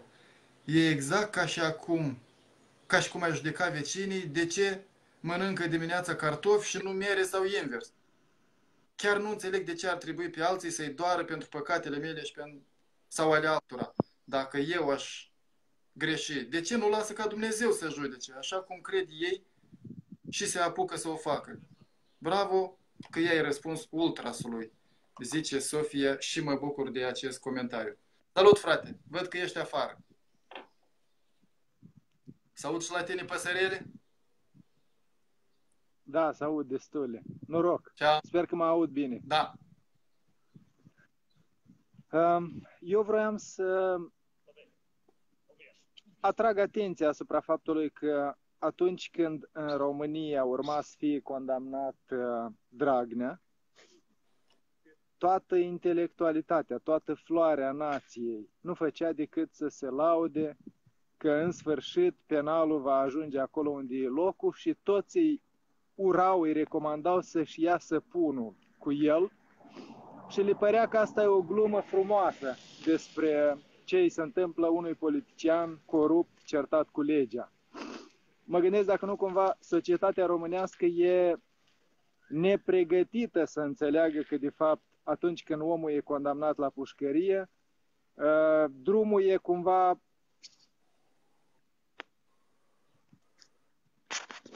când omul pleacă la pușcărie, ziceam că omul ar trebui să răspundă conform legii pentru ceea ce a făcut. Dacă a încălcat, de exemplu, dacă a furat din banul public, nimeni nu întreabă, în societate nimeni nu se întreabă dacă îi sunt sau nu confiscate averile. În societate nu se întreabă nimeni dacă ceea ce a făcut el ilegal va fi sau nu uh, uh, soluționat. Adică dacă omul a, a comis o ilegalitate, ce, ce șansă are omul pe viitor să nu... Eu nu mai înțeleg dacă se aude ceva. Gennady, se aude și se vede. Probabil stai cu degetul pe senzorul acela de luminozitate și de asta face așa. Deci apucă cumva altfel. Sau ignoră, pentru că se aude bine și nu contează cum se vede. Ești frumos, dar nu o să te măriți uh, azi în emisiunea mea. De aceea continuă să vorbești. Da, Dragnea a fost condamnat la privare de libertate. Orice om care a încălcat ceva e condamnat la privare de libertate. Dar asta nu trebuie să-i priveze drepturile. El rămâne cu drepturi fundamentale și dreptul la integritate corporală de a nu fi violat trebuie să fie asigurat de stat. Dacă oamenii încep să se bucure că cineva a ajuns la pușcărie și acolo va fi violat, asta e o bucurie maladivă, bolnavă societatea e chiar smintită că se bucură că cineva va fi torturat, violat. Am văzut cineva mai ieri difuza instrumente de tortură din epoca medievală folosite de Inchiziție. Se zicea că avem nevoie de astfel de instrumente pentru cei care au fost până mai ieri la guvernare și am zis, oameni buni, sunteți stâmpiți? Vreți să aplicăm tortura? Care tortură e și imorală, și ilegală, și interzisă absolut. oamenilor celor după aceea o să le plătim tot noi despăgubiri că au fost torturați în închisoare. Da, și exact vreau să mai vorbim despre uh, necesitatea acțiunilor publice, care în, în Occident de obicei nu se pune întrebarea dacă acele marșuri, acele activități stradale sunt necesare pentru societate. Toată lumea le ia ca atare, ca un drept fundamental de a te manifesta, un drept de a te exprima. Deci e una din sutele de acțiuni care au loc în, în orașele occidentale civilizate, la care oamenii nu se simt atât de vizați să, să pună strâmbe, să se împotrivească, eventual să-i critique. Și culmea vorba, cum, cum a întrebat unul dintre spectatorii tăi dacă asta ar fi corect ca ei să facă dragoste în public. Nici în Occident nimeni nu face dragoste în public, dar nu mă deranjează cu nimic. Nici în Moldova cât eram, nici în România cât eram, să văd oamenii care se țin de mână, chiar dacă sunt de același sex, sau stau împreună. La fel e și în Occident. Oamenii se manifestă cum vor ei, iar în viața privată nu avem acces ca să vedem cine și cum se comportă și să zici că cumva pe tine te afectează prin faptul că i-ai văzut sau copiii tăi care i-au văzut pe stradă, că se țin de mână, cum o să le explici. Dar tu încearcă să-i explici copilului tău cum e când un funcționar public fură o treime din bugetul țării și după aia are liber să plece din țară. E lăsat peste 5 ani să plece cu toată valiza, cu toți banii furați și nimeni nu se împotrivește. Încearcă să-i explici asta copilului tău. Încearcă să-i explici copilului tău cum orice funcționar corupt reușește să-și construiască palate și pentru asta nu poartă răspundere. Încearcă să-i explici asta copilului tău. Deci ajungem să nu putem explica copiilor lucruri care sunt certate cu legea, dar ne stresăm cum o să le explicăm când o să vedem un fapt firesc, când o să vedem că oamenii așa sunt ei, așa se comportă ei. Merg pe stradă doi bătrâni care se țin de mână, fie că două femei, fie că doi bărbați, se țin de mână, da, și care e problema? Și da, ă, abilitatea prin care ă, ultrașii sau ă, din ăștia, galeriile de fotbal din România ajung să meargă pe mesajul supernaționalist, pe apărarea valorilor tradiționale și foarte repede se bagă în tabăra cu noua dreaptă și împotriva homosexualilor, împotriva paradelor, împotriva marșurilor care le fac în societate. Asta îmi pare că ar trebui să se discute la nivel de societate românească, pentru că atât timp cât noua dreaptă sau cine mai sunt acolo sunt atât de vehemenți împotriva drepturilor omului, nu au cum fi și cu Naționala României să apere sau na, să meargă să promoveze echipa națională, să o susțină prin străinătate și în același timp să fie homofobi, să fie certați cu legea.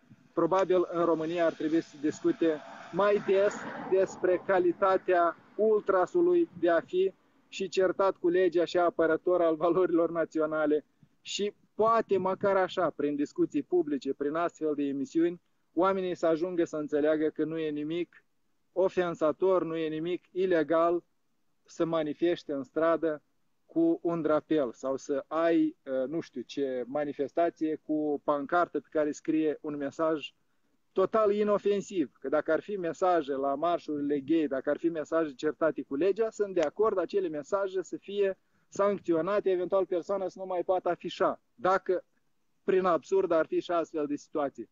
Altfel nu ai de ce să interzici, nu ai de ce să hulești, să te manifesti agresiv împotriva persoanelor care ies în stradă să manifeste felul lor de a fi. Apropo Cam Ultraș și echipele românești deseori au fost descalificate și au jucat cu tribunele goale pentru că Ultra și manifestau verbal sau vizual mesaje rasiste, homofobe și de tot felul. Amintește-ți chiar și de fostul campion la tenis Ilina Stase, care pentru mesaje rasiste a fost uh, sancționat de către organizații internaționale. Cred că și acolo vor fi schimbări și ultra și vor fi forțați prin lege, prin sancțiuni, vor fi forțați să înțeleagă că trebuie acceptată diversitatea. Mulțumesc, Ghenadie, sper că o să participi la Reykjavik Pride, care are loc în august.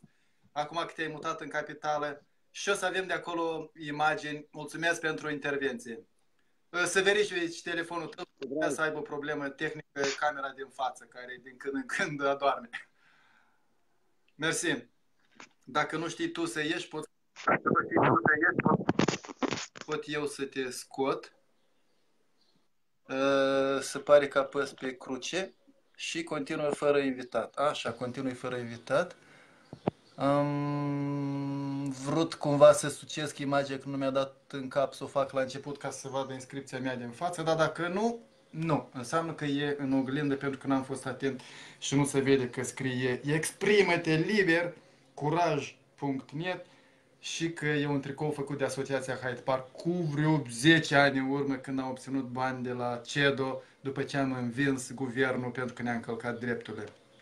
Ioan Bojan zice, în pușcărie fac sex ca orbii, se referă la hetero.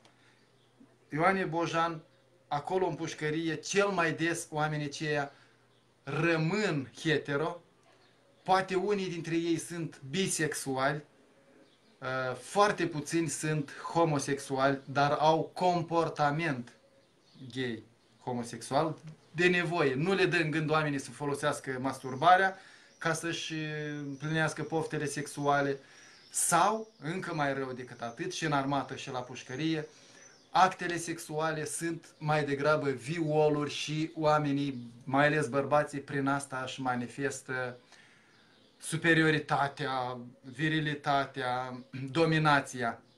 Astfel de acte trebuie condamnate și pedepsite. Sunt pedepsite penal. Numai nu prea are cine să le denunțe.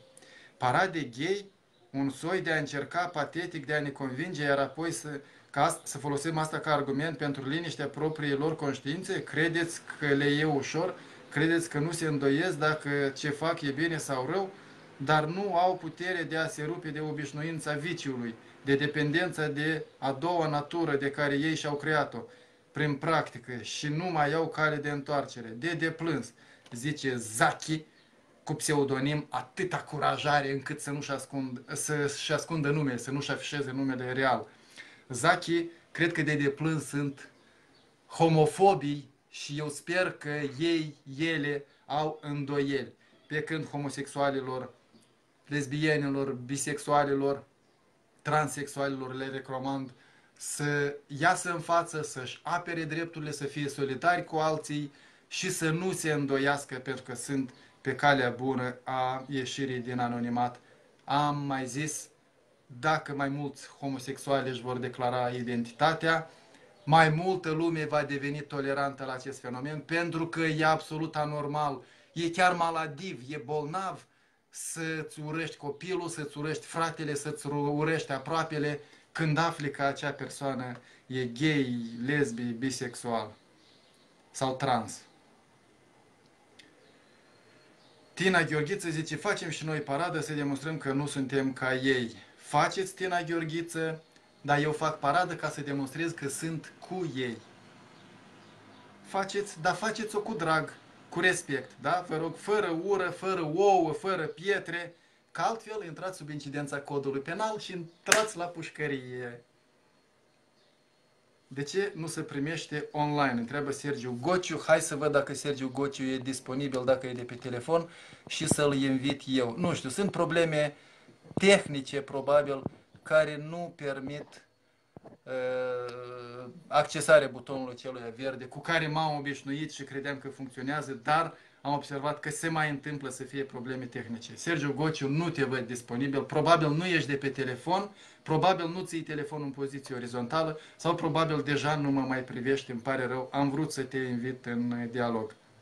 Ați văzut că cu Valeriu, cu Ghenadie a mers totuși, nu ei mi-au cerut acceptul decât cu comentariu, dar eu i-am invitat și totuși am mers. Deci e posibil, scrieți un mesaj cumva, măcar privat sau aici în chat, că vreți să participați și atunci eu o să vă invit, dacă v-am zis, sunteți pe telefonul mobil și dacă țineți telefonul în poziție orizontală cu rotire automată a ecranului. Și toți sunteți hetero pentru bani, ați mai face copii dacă n-ar mai fi bani? N-am înțeles, Ioan Bojan, ce zici, dar înțeleg că e un reproș heterosexualilor. Oleg, tu administrezi pagina Curaj TV? mai puțin. Mai mult Genadie face asta, mai sunt colegi de mei care se ocupă de pagina Curaj TV. Eu mă ocup de blogul Curaj TV, www.curaj.tv și de canalul meu de YouTube sau de canalul de YouTube Curaj MD Civic, unde publică foarte des Harigeană. Dar de pagina de Facebook Curaj TV mă ocup și eu, sunt unul dintre admin, dar foarte rar public acolo și nu prea interacționez cu oamenii care ne scriu pe chat. Vasile Cojocaru zice, mulți oameni nu înțeleg ce este gay parada. În realitate e un marș al organizațiilor, serviciilor, instituțiilor, întreprinderilor, firmelor, societăților, a unei regiuni sau a unui oraș care zic, noi nu discriminăm homosexualii. Da, Vasile, așa am văzut și ieri la uh, Bucharest Pride. Au venit reprezentanți de la Google, reprezentanți de la Amazon, au vorbit chiar de pe scenă reprezentanți de la Microsoft întreprinderi, corporații care ies și spun noi suntem gay friendly, noi apărăm diversitatea, noi apărăm drepturile omului, am venit să vă susținem. Și erau, de regulă, oameni heterosexuali care făceau chestia asta.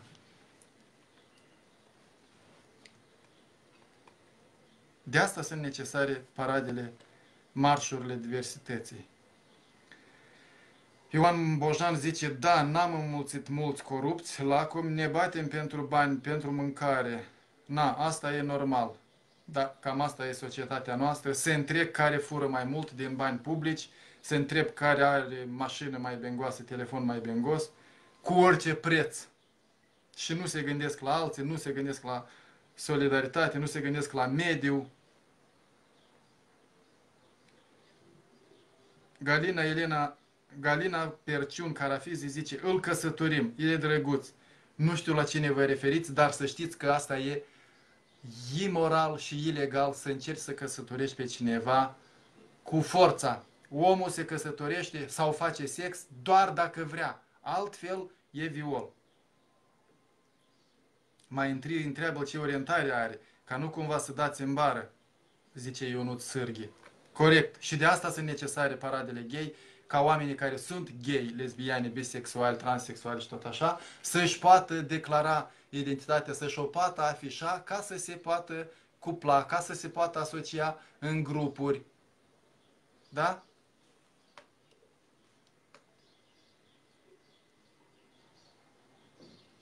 Ai vrea ca o persoană gay să vină la tine și să zică hai să nu știu ce, crezând despre tine că ești gay? Nu. E bine să fie clar la vedere și să nu fie să căiți oamenii.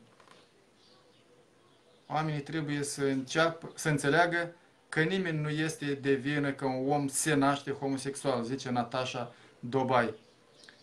Homosexual, bisexual sau transexual. Oamenii sunt așa orientați și unii oameni au hormonii echilibrați, alți oameni au hormoni feminin mai mulți și mai mulți și alții au mai mulți hormoni masculini. Și asta nu este rău. Boala asta este din naștere și noi oamenii trebuie să trăim în armonie, să nu judecăm. Sau dacă judeci omul și îl consideri bolnav, câtă minte trebuie să ai să condamni, să persecuți, să hărțuiești un om pentru că e bolnav? Nu e așa că ești smintit? Nu e așa că ești tâmpit să-ți bați joc de un om că e bolnav? Dar dacă nu e bolnav, ia-l în brațe dacă vrea. Că și luat în brațe forțat, tot e imoral și ilegal. Cristian Velixar, conform unei măsurători, Pew Research din 2017, 92% de moldoveni nu acceptă persoanele din comunitatea LGBT, cu toate încălcările de drepturi care presupune asta tot aceeași măsurătoare arată că 50% dintre moldoveni consideră că a noastră cultură este superioară celorlalte. E clar că avem o cultură cam primitivă și că ar trebui să ne rafinăm. Tot așa foarte mulți moldoveni urăsc persoanele HIV pozitive și acelea chiar persoane bolnave. Cum să urăști, cum să disprețuiești persoane HIV pozitive?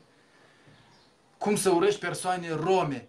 Acele chiar n-au ales deloc rasa cu care s-au născut. Cum să disprețuiești, să hărțuiești, să persecuți o persoană pentru că s-a născut romă? Ce vină are omul că s-a născut rom sau evreu? evreu? Pentru asta multă minte nu trebuie, nu-i așa? Ajunge să mergi odată, două ori la biserică și ai învățat ura de acolo. Florin Stanciu glumește, săriți, poliție! Da, eu sunt ăla care am patentat uh, ideea. Dacă te agresează cineva, dacă ți se încalcă drepturile, chiar dacă poliția ți încalcă drepturile, strigă Poliția! Săriți! Poliția! Mihai Gorobeț mă privește și îl salut. Cristian Velixar. Oleg, te apuci cumva să faci un live pe tema sexualității? Întrebarea. Cum explici copiilor asta? Decurge din ignoranța față de dezvoltarea sexualității la om. Cristian, mă gândeam să fac niște live-uri, aveam banana pregătită, prezervativul, să învăț a folosi prezervativul, să învăț a face masturbare ca să nu depindă de hormonii lor. Dar n-am apucat, încă n-am avut uh, vibe-ul necesar interior. Dar ar trebui, pentru că nu face asta televiziunea, pentru că nu face asta școala, pentru că nu fac asta părinții. O să-mi zică, dar și te apuci tu să educi copiii noștri. Dar dacă voi nu știți să educați, o să vi educ eu. Și având în vedere că foarte mulți tineri, copii privesc canalul și paginile mele de Facebook, da, o să fac ligbez sexual, atât cât mai pricep eu, cât am învățat eu în viața mea de 45 de ani. O să, probabil o să fac discuții sau pur și simplu monologe despre sexualitate. Nu că aș fi cea mai indicată persoană, nu sunt sexolog, nu mă pricep foarte bine, dar am impresia din cât pricep eu, deja sunt mult peste media moldovenilor și a celorlalți români. Sergiu Mărcăuțan. De ce omul care crede că este de Mars, de pe Marte sau este Napoleon, pe acela îl trimit la psihiatrie, iar bărbatul care se crede femeie, îi se apără drepturile, Sergiu Mărcăuțan, pentru că e un drept la viață privată și e un drept la identitate, inclusiv sexuală. E un drept fundamental. Și e absolut normal. Sexualitatea e un drept fundamental și trebuie apărat. Face parte din identitatea ta. Și a mea, și a oricui. Deci dacă pentru tine e importantă orientarea, identitatea ta sexuală, tot așa și pentru persoana trans și pentru persoana gay, lesbi, bi și tot așa, toți sunt importante și trebuie protejate în măsură egală. Nu mai mult, nu mai puțin, trebuie protejate în măsură egală. Aura David, aș vrea să adaug faptul că oamenii se simt amenințați când ești pus în pericol, când este pusă în pericol familia tradițională. Un paradox cu specific mioritic. Să mergem înainte când înainte era mai bine. Dar de ce am fi amenințați de alegerile proprii? Oare problema nu stă în lipsa de integritate proprie? Se creează un fel de psihoză în masă care își dă autogol la logică.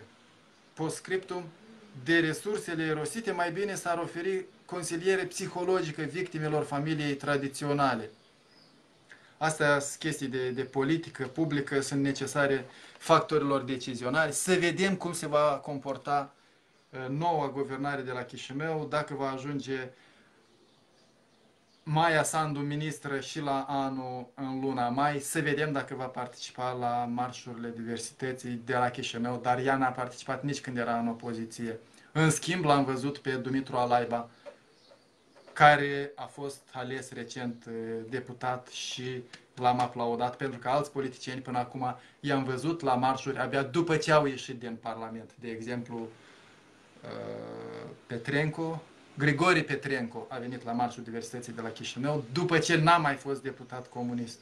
Și după aceea a plecat în Germania și a cerut azil politic. Poate că de asta și-a participat la marș ca să fie filmat și ca să poată arăta că e persecutat pentru că s-a dus în Germania și a cerut azil politic. Iulia Nemeș ne informează. Nu e o boală. E o variantă bună, se bazează pe uh, cercetări științifice. Nu e boală. Anton Neagu zice, e boală. Depinde la ce te referi. S-ar putea homofobia să fie o boală psihică. Sper că se poate trata.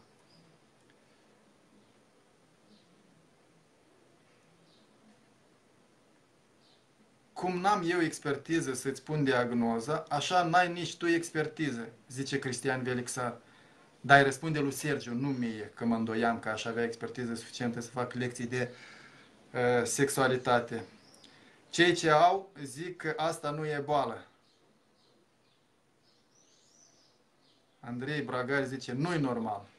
Ce nu-i normal? Nu-i normal să urăști un om pentru ceea ce este, nu? Omul pot să-l urăști și tot nu-i foarte civilizat să urăști, dar pot să-l cumva cert, să-l critici pentru ceea ce spune, pentru ceea ce face, dar pentru ceea ce este, stângaci, cu ochi albaștri, creț, cocoșat, înalt, pitic, cu pete pe piele sau cu piele albă, albinos. Câtă minte îți trebuie ca să-l urăști pentru chestia asta? Mă tem că ajung doi neuroni. Cristian Velixar, pe bună dreptate, înseamnă, întreabă ce înseamnă normal. Normele se schimbă de la an la an. Florin Toader zice să-ți trimit 100.000 de euro pentru un azil. Nu știu cui se adresează și nu știu la ce se referă și nu am de gând să fac niciun fel de aziluri.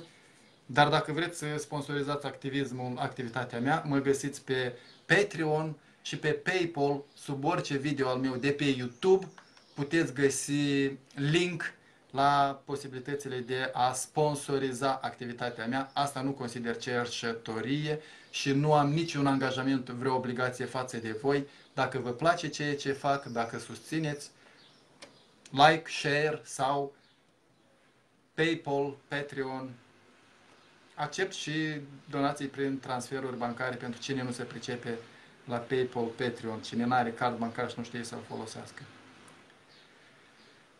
Dar e normal să crezi în poveștile evreiești, zice Serge Chistruga, ca răspuns pentru Andrei. Probabil se referă la poveștile evreiești antice, cu numele Tora, uh, Talmud, uh, cum se mai numește acolo, Biblia. Astea sunt povești antice evreiești.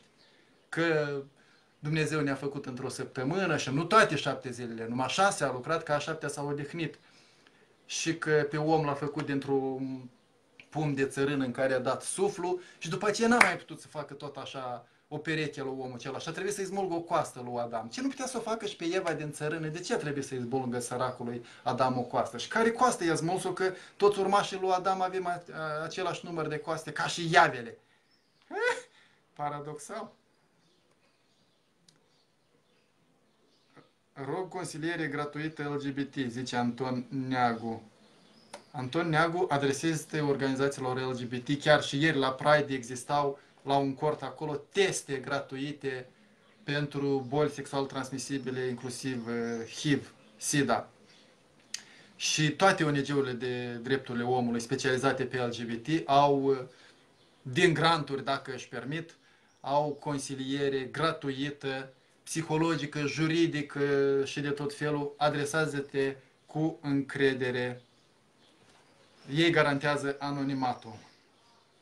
Iulia Nemeș. Este vorba despre chimie. Unii au hormoni la nivel normal, alții au dereglări.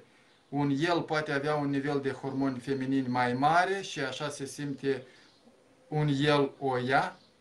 Oricum, România e în urmă rău pe această temă, e prea îndobidocită de religie. Iulia Nemeș, în fond, începutul enunțului tău e adevărat. Suntem chimie și echilibru. Iar echilibru nu e foarte exact ca foaia de hârtie, privită așa în profil, ci e o plajă largă de, de echilibru. Poți să fii gay, absolut normal, poți să fii bisexual, transexual, absolut normal.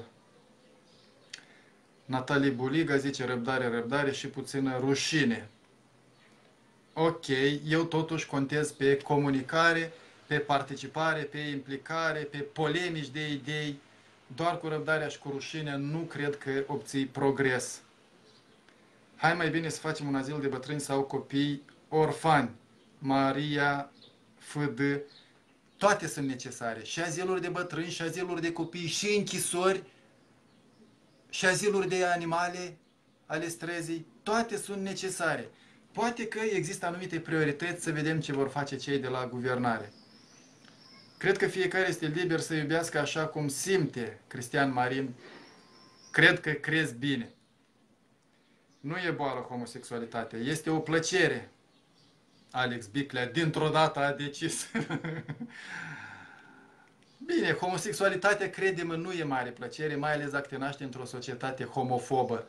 Imaginează-ți, încearcă așa de probă, să zici bunicii tale sau vecinului tău că ești gay. Sau măcar bisexual, așa, ca să nu fie foarte tare șocul. Și o să vezi reacția. Și o să vezi ce plăcere ai din chestia asta. Sau încearcă ca brega așa să ascunzi identitatea sa ta sexuală. Încearcă să aperi persoanele gay și să nu spui de ce orientare sexuală ești. Și o să vezi ce mare plăcere ai din uh, asta.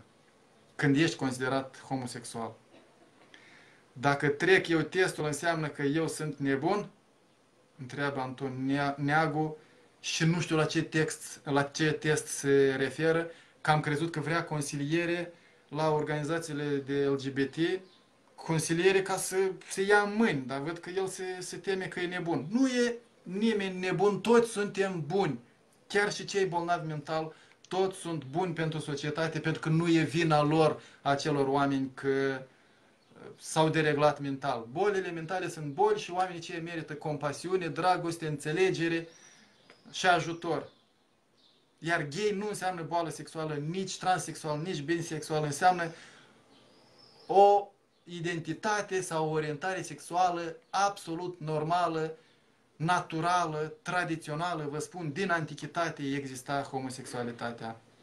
S-a testat în cultură, în literatură, în artele dramatice.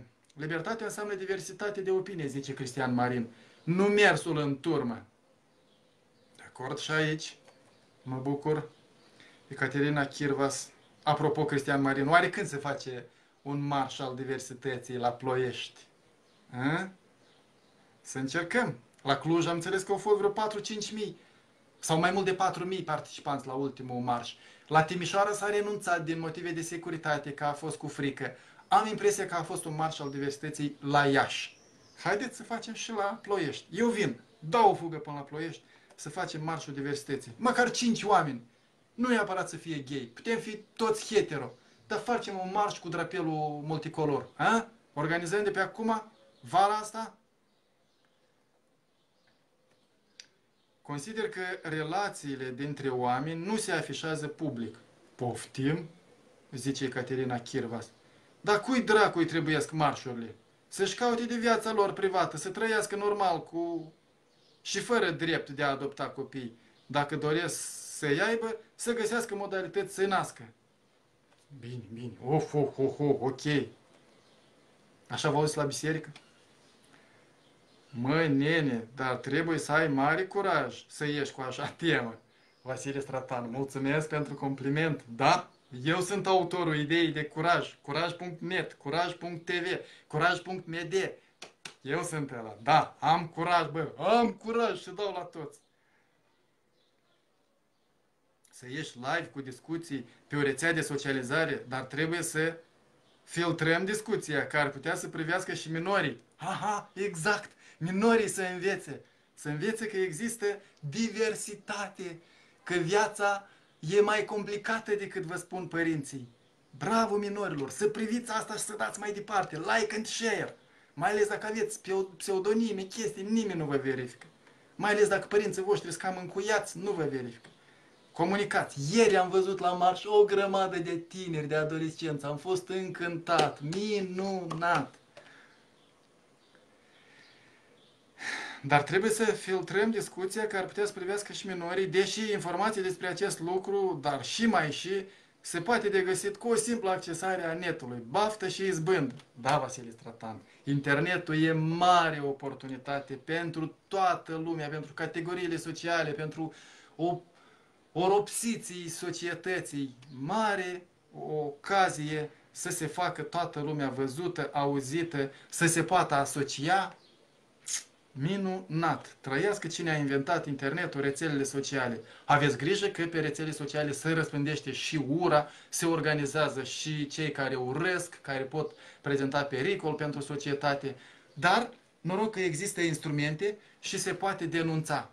Denunțați comentarii, mesaje de ură și Facebook-ul și YouTube-ul deja le blochează. Îndrăzniți! Faceți ca mine sau chiar mai bine decât mine.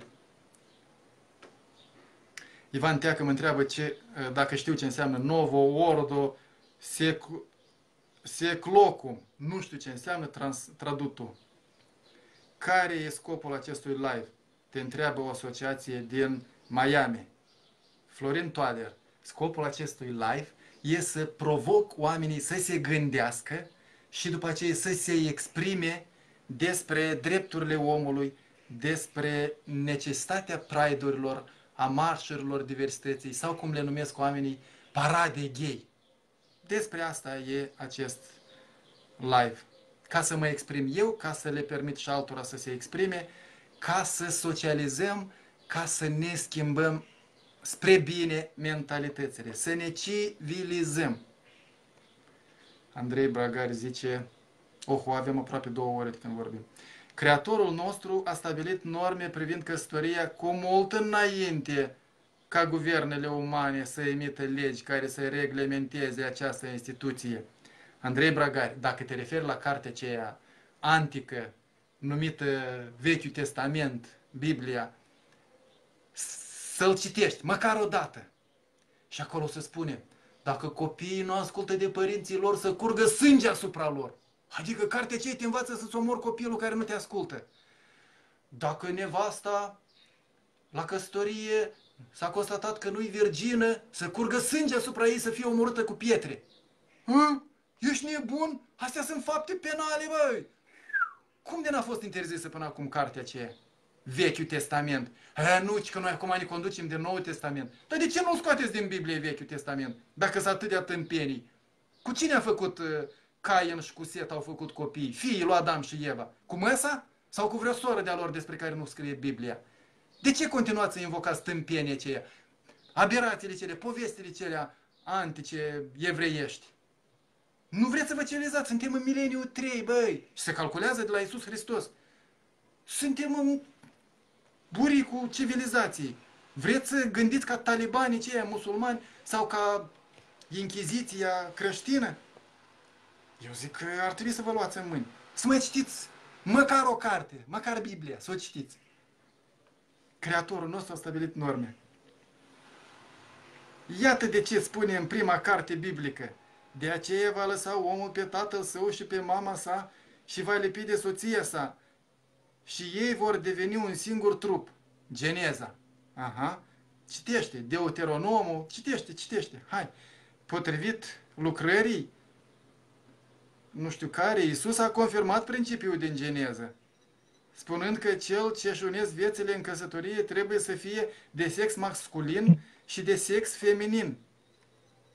Multe povești a mai spus uh, Isus. Oamenii de știință spun că Isus e un personaj inventat sau dacă a existat, a fost altceva decât ne-l prezentați voi acum. Anton Neagu zice, e boală psihică. Da, eu mă tem că homofobia e boală psihică. Sper că se poate trata. Cristian Velixar mă ajută. Pe lângă opinia dumneavoastră mai este și dreptul la întrunire, care e superior opiniei dumneavoastră, și libertatea de exprimare, adaug eu. Acest drept are ca scop, între altele, înserarea subiectelor în discursul public. Exact. Pentru asta există dreptul la protest, ca să afle societatea despre problemele mele. Pentru ce mai dă voie să ies să trâmbițez? Ca să afle lumea, să fie deranjată de problemele mele, să nu se gândească numai la problemele lor. Majoritarii, de exemplu, numai noi avem probleme. Dar minoritarii ce să facă? Să stea acasă, să sufere că nimeni nu vrea să audă de problemele lor? Ei, ei! Parțial acest scop este atins. Noi acum stăm și discutăm acest subiect. Poate discuția asta reușește să infirme câteva mituri toxice da, Cristian Lirixar, pentru asta am ieșit ieri la Pride, pentru asta voi participa în tot restul vieții mele la marșuri, indiferent dacă se vor numi uh, marș de protest sau paradă gay sau Pride, voi participa pentru că consider necesare pentru apărarea drepturilor omului. Și pentru asta fac astfel de discuții live cu toate riscurile pe care mi le asum. Anton Neagu. Oleg, ai luat o razna. Sper că bat câmpii cu grație. O, un executor judecătoresc să uită. Bravo! Dina Vasile Rotaru. În Biblie Dumnezeu zice că este păcat și nu boală. Ok, să ne judece Dumnezeu pentru păcat. De ce vă apucați voi să aruncați cu pietre? Că parcă scrie în nu știu care a cincea poruncă acolo. Să nu ucizi, să nu urăști. De ce urâți? Iubiți-vă aproapele, cum scrie în Biblie, dacă sunteți credincioși. Eu nu sunt de acord să facem, dar autoritățile sunt atât de adormite, Cristian Marin. Autoritățile au obligația să ne asigure un drept fundamental. Iar întrunirea e aparat de articolul 11 din Convenția Europeană a Drepturilor Omului și nu știu care articol acolo 20-21 din Declarația Universală a Drepturilor Omului. E consfințit și de Constituția României. Tot se pare că pe articolul 30 40 scrie că dreptul la întrunire și libertatea de exprimare sunt drepturi fundamentale. Deci, noi numai notificăm autoritățile și ieșim. Putem să le notificăm cu 3 zile înainte, se pare, sau ceva de felul ăsta. Putem să le trimitem un e-mail și ieșim și mărșăluim cu drapelul. Putem să facem un flash mob, să nu anunțăm pe nimeni. Am ieșit, am filmat și am plecat. Așa se fac flash mob-urile.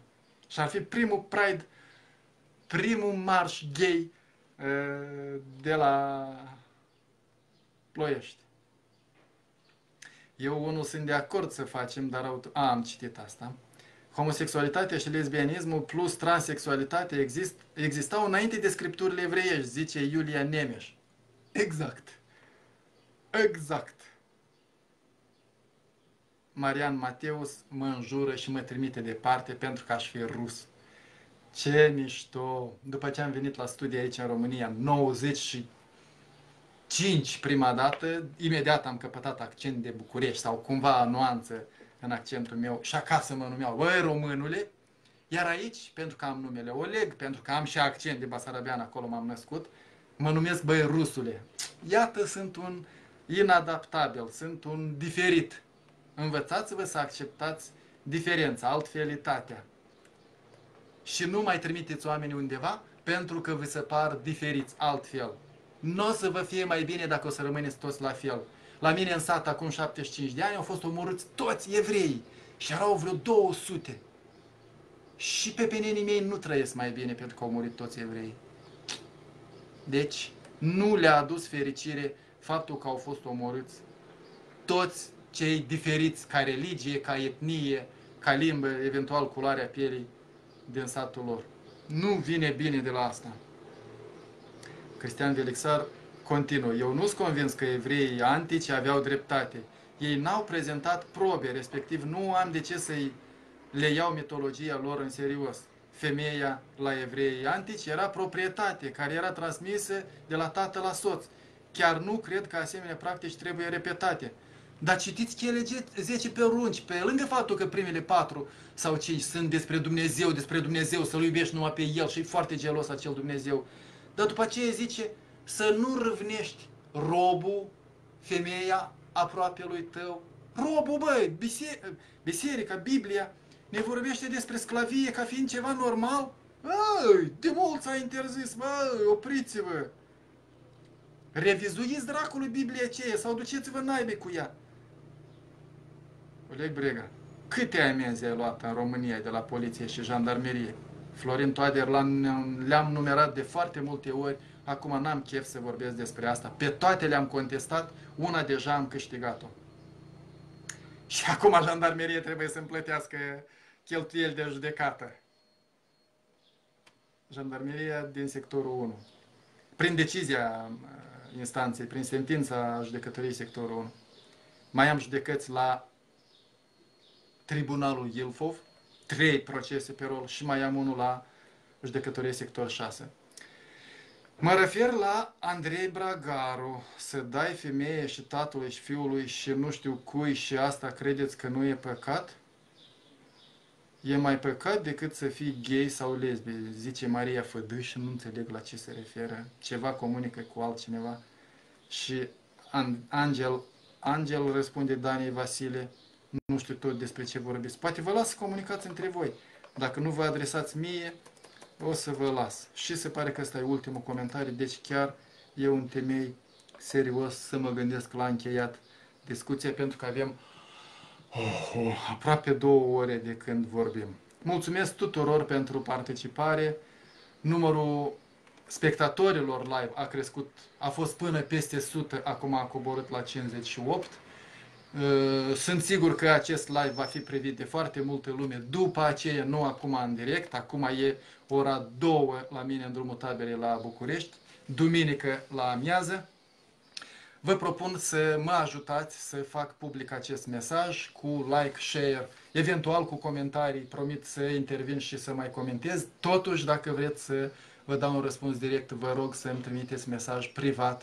Acelea sigur le citesc pe toate, chiar și cele care intră în căsuța de, de spam sau mesaje neverificate de la persoane care nu sunt prieteni cu mine. Verific deseori acea căsuță și răspund la toată lumea, indiferent dacă îmi scrieți pe profilul meu de Facebook ăsta pe care fac acum transmisiunea live sau pe pagina mea de activist civic care de câtva timp se numește Oleg Brega, candidat independent, pentru că ați văzut mă implic în viața politică și încerc să candidez independent pe toate alegerile la care reușesc să mă încadrez.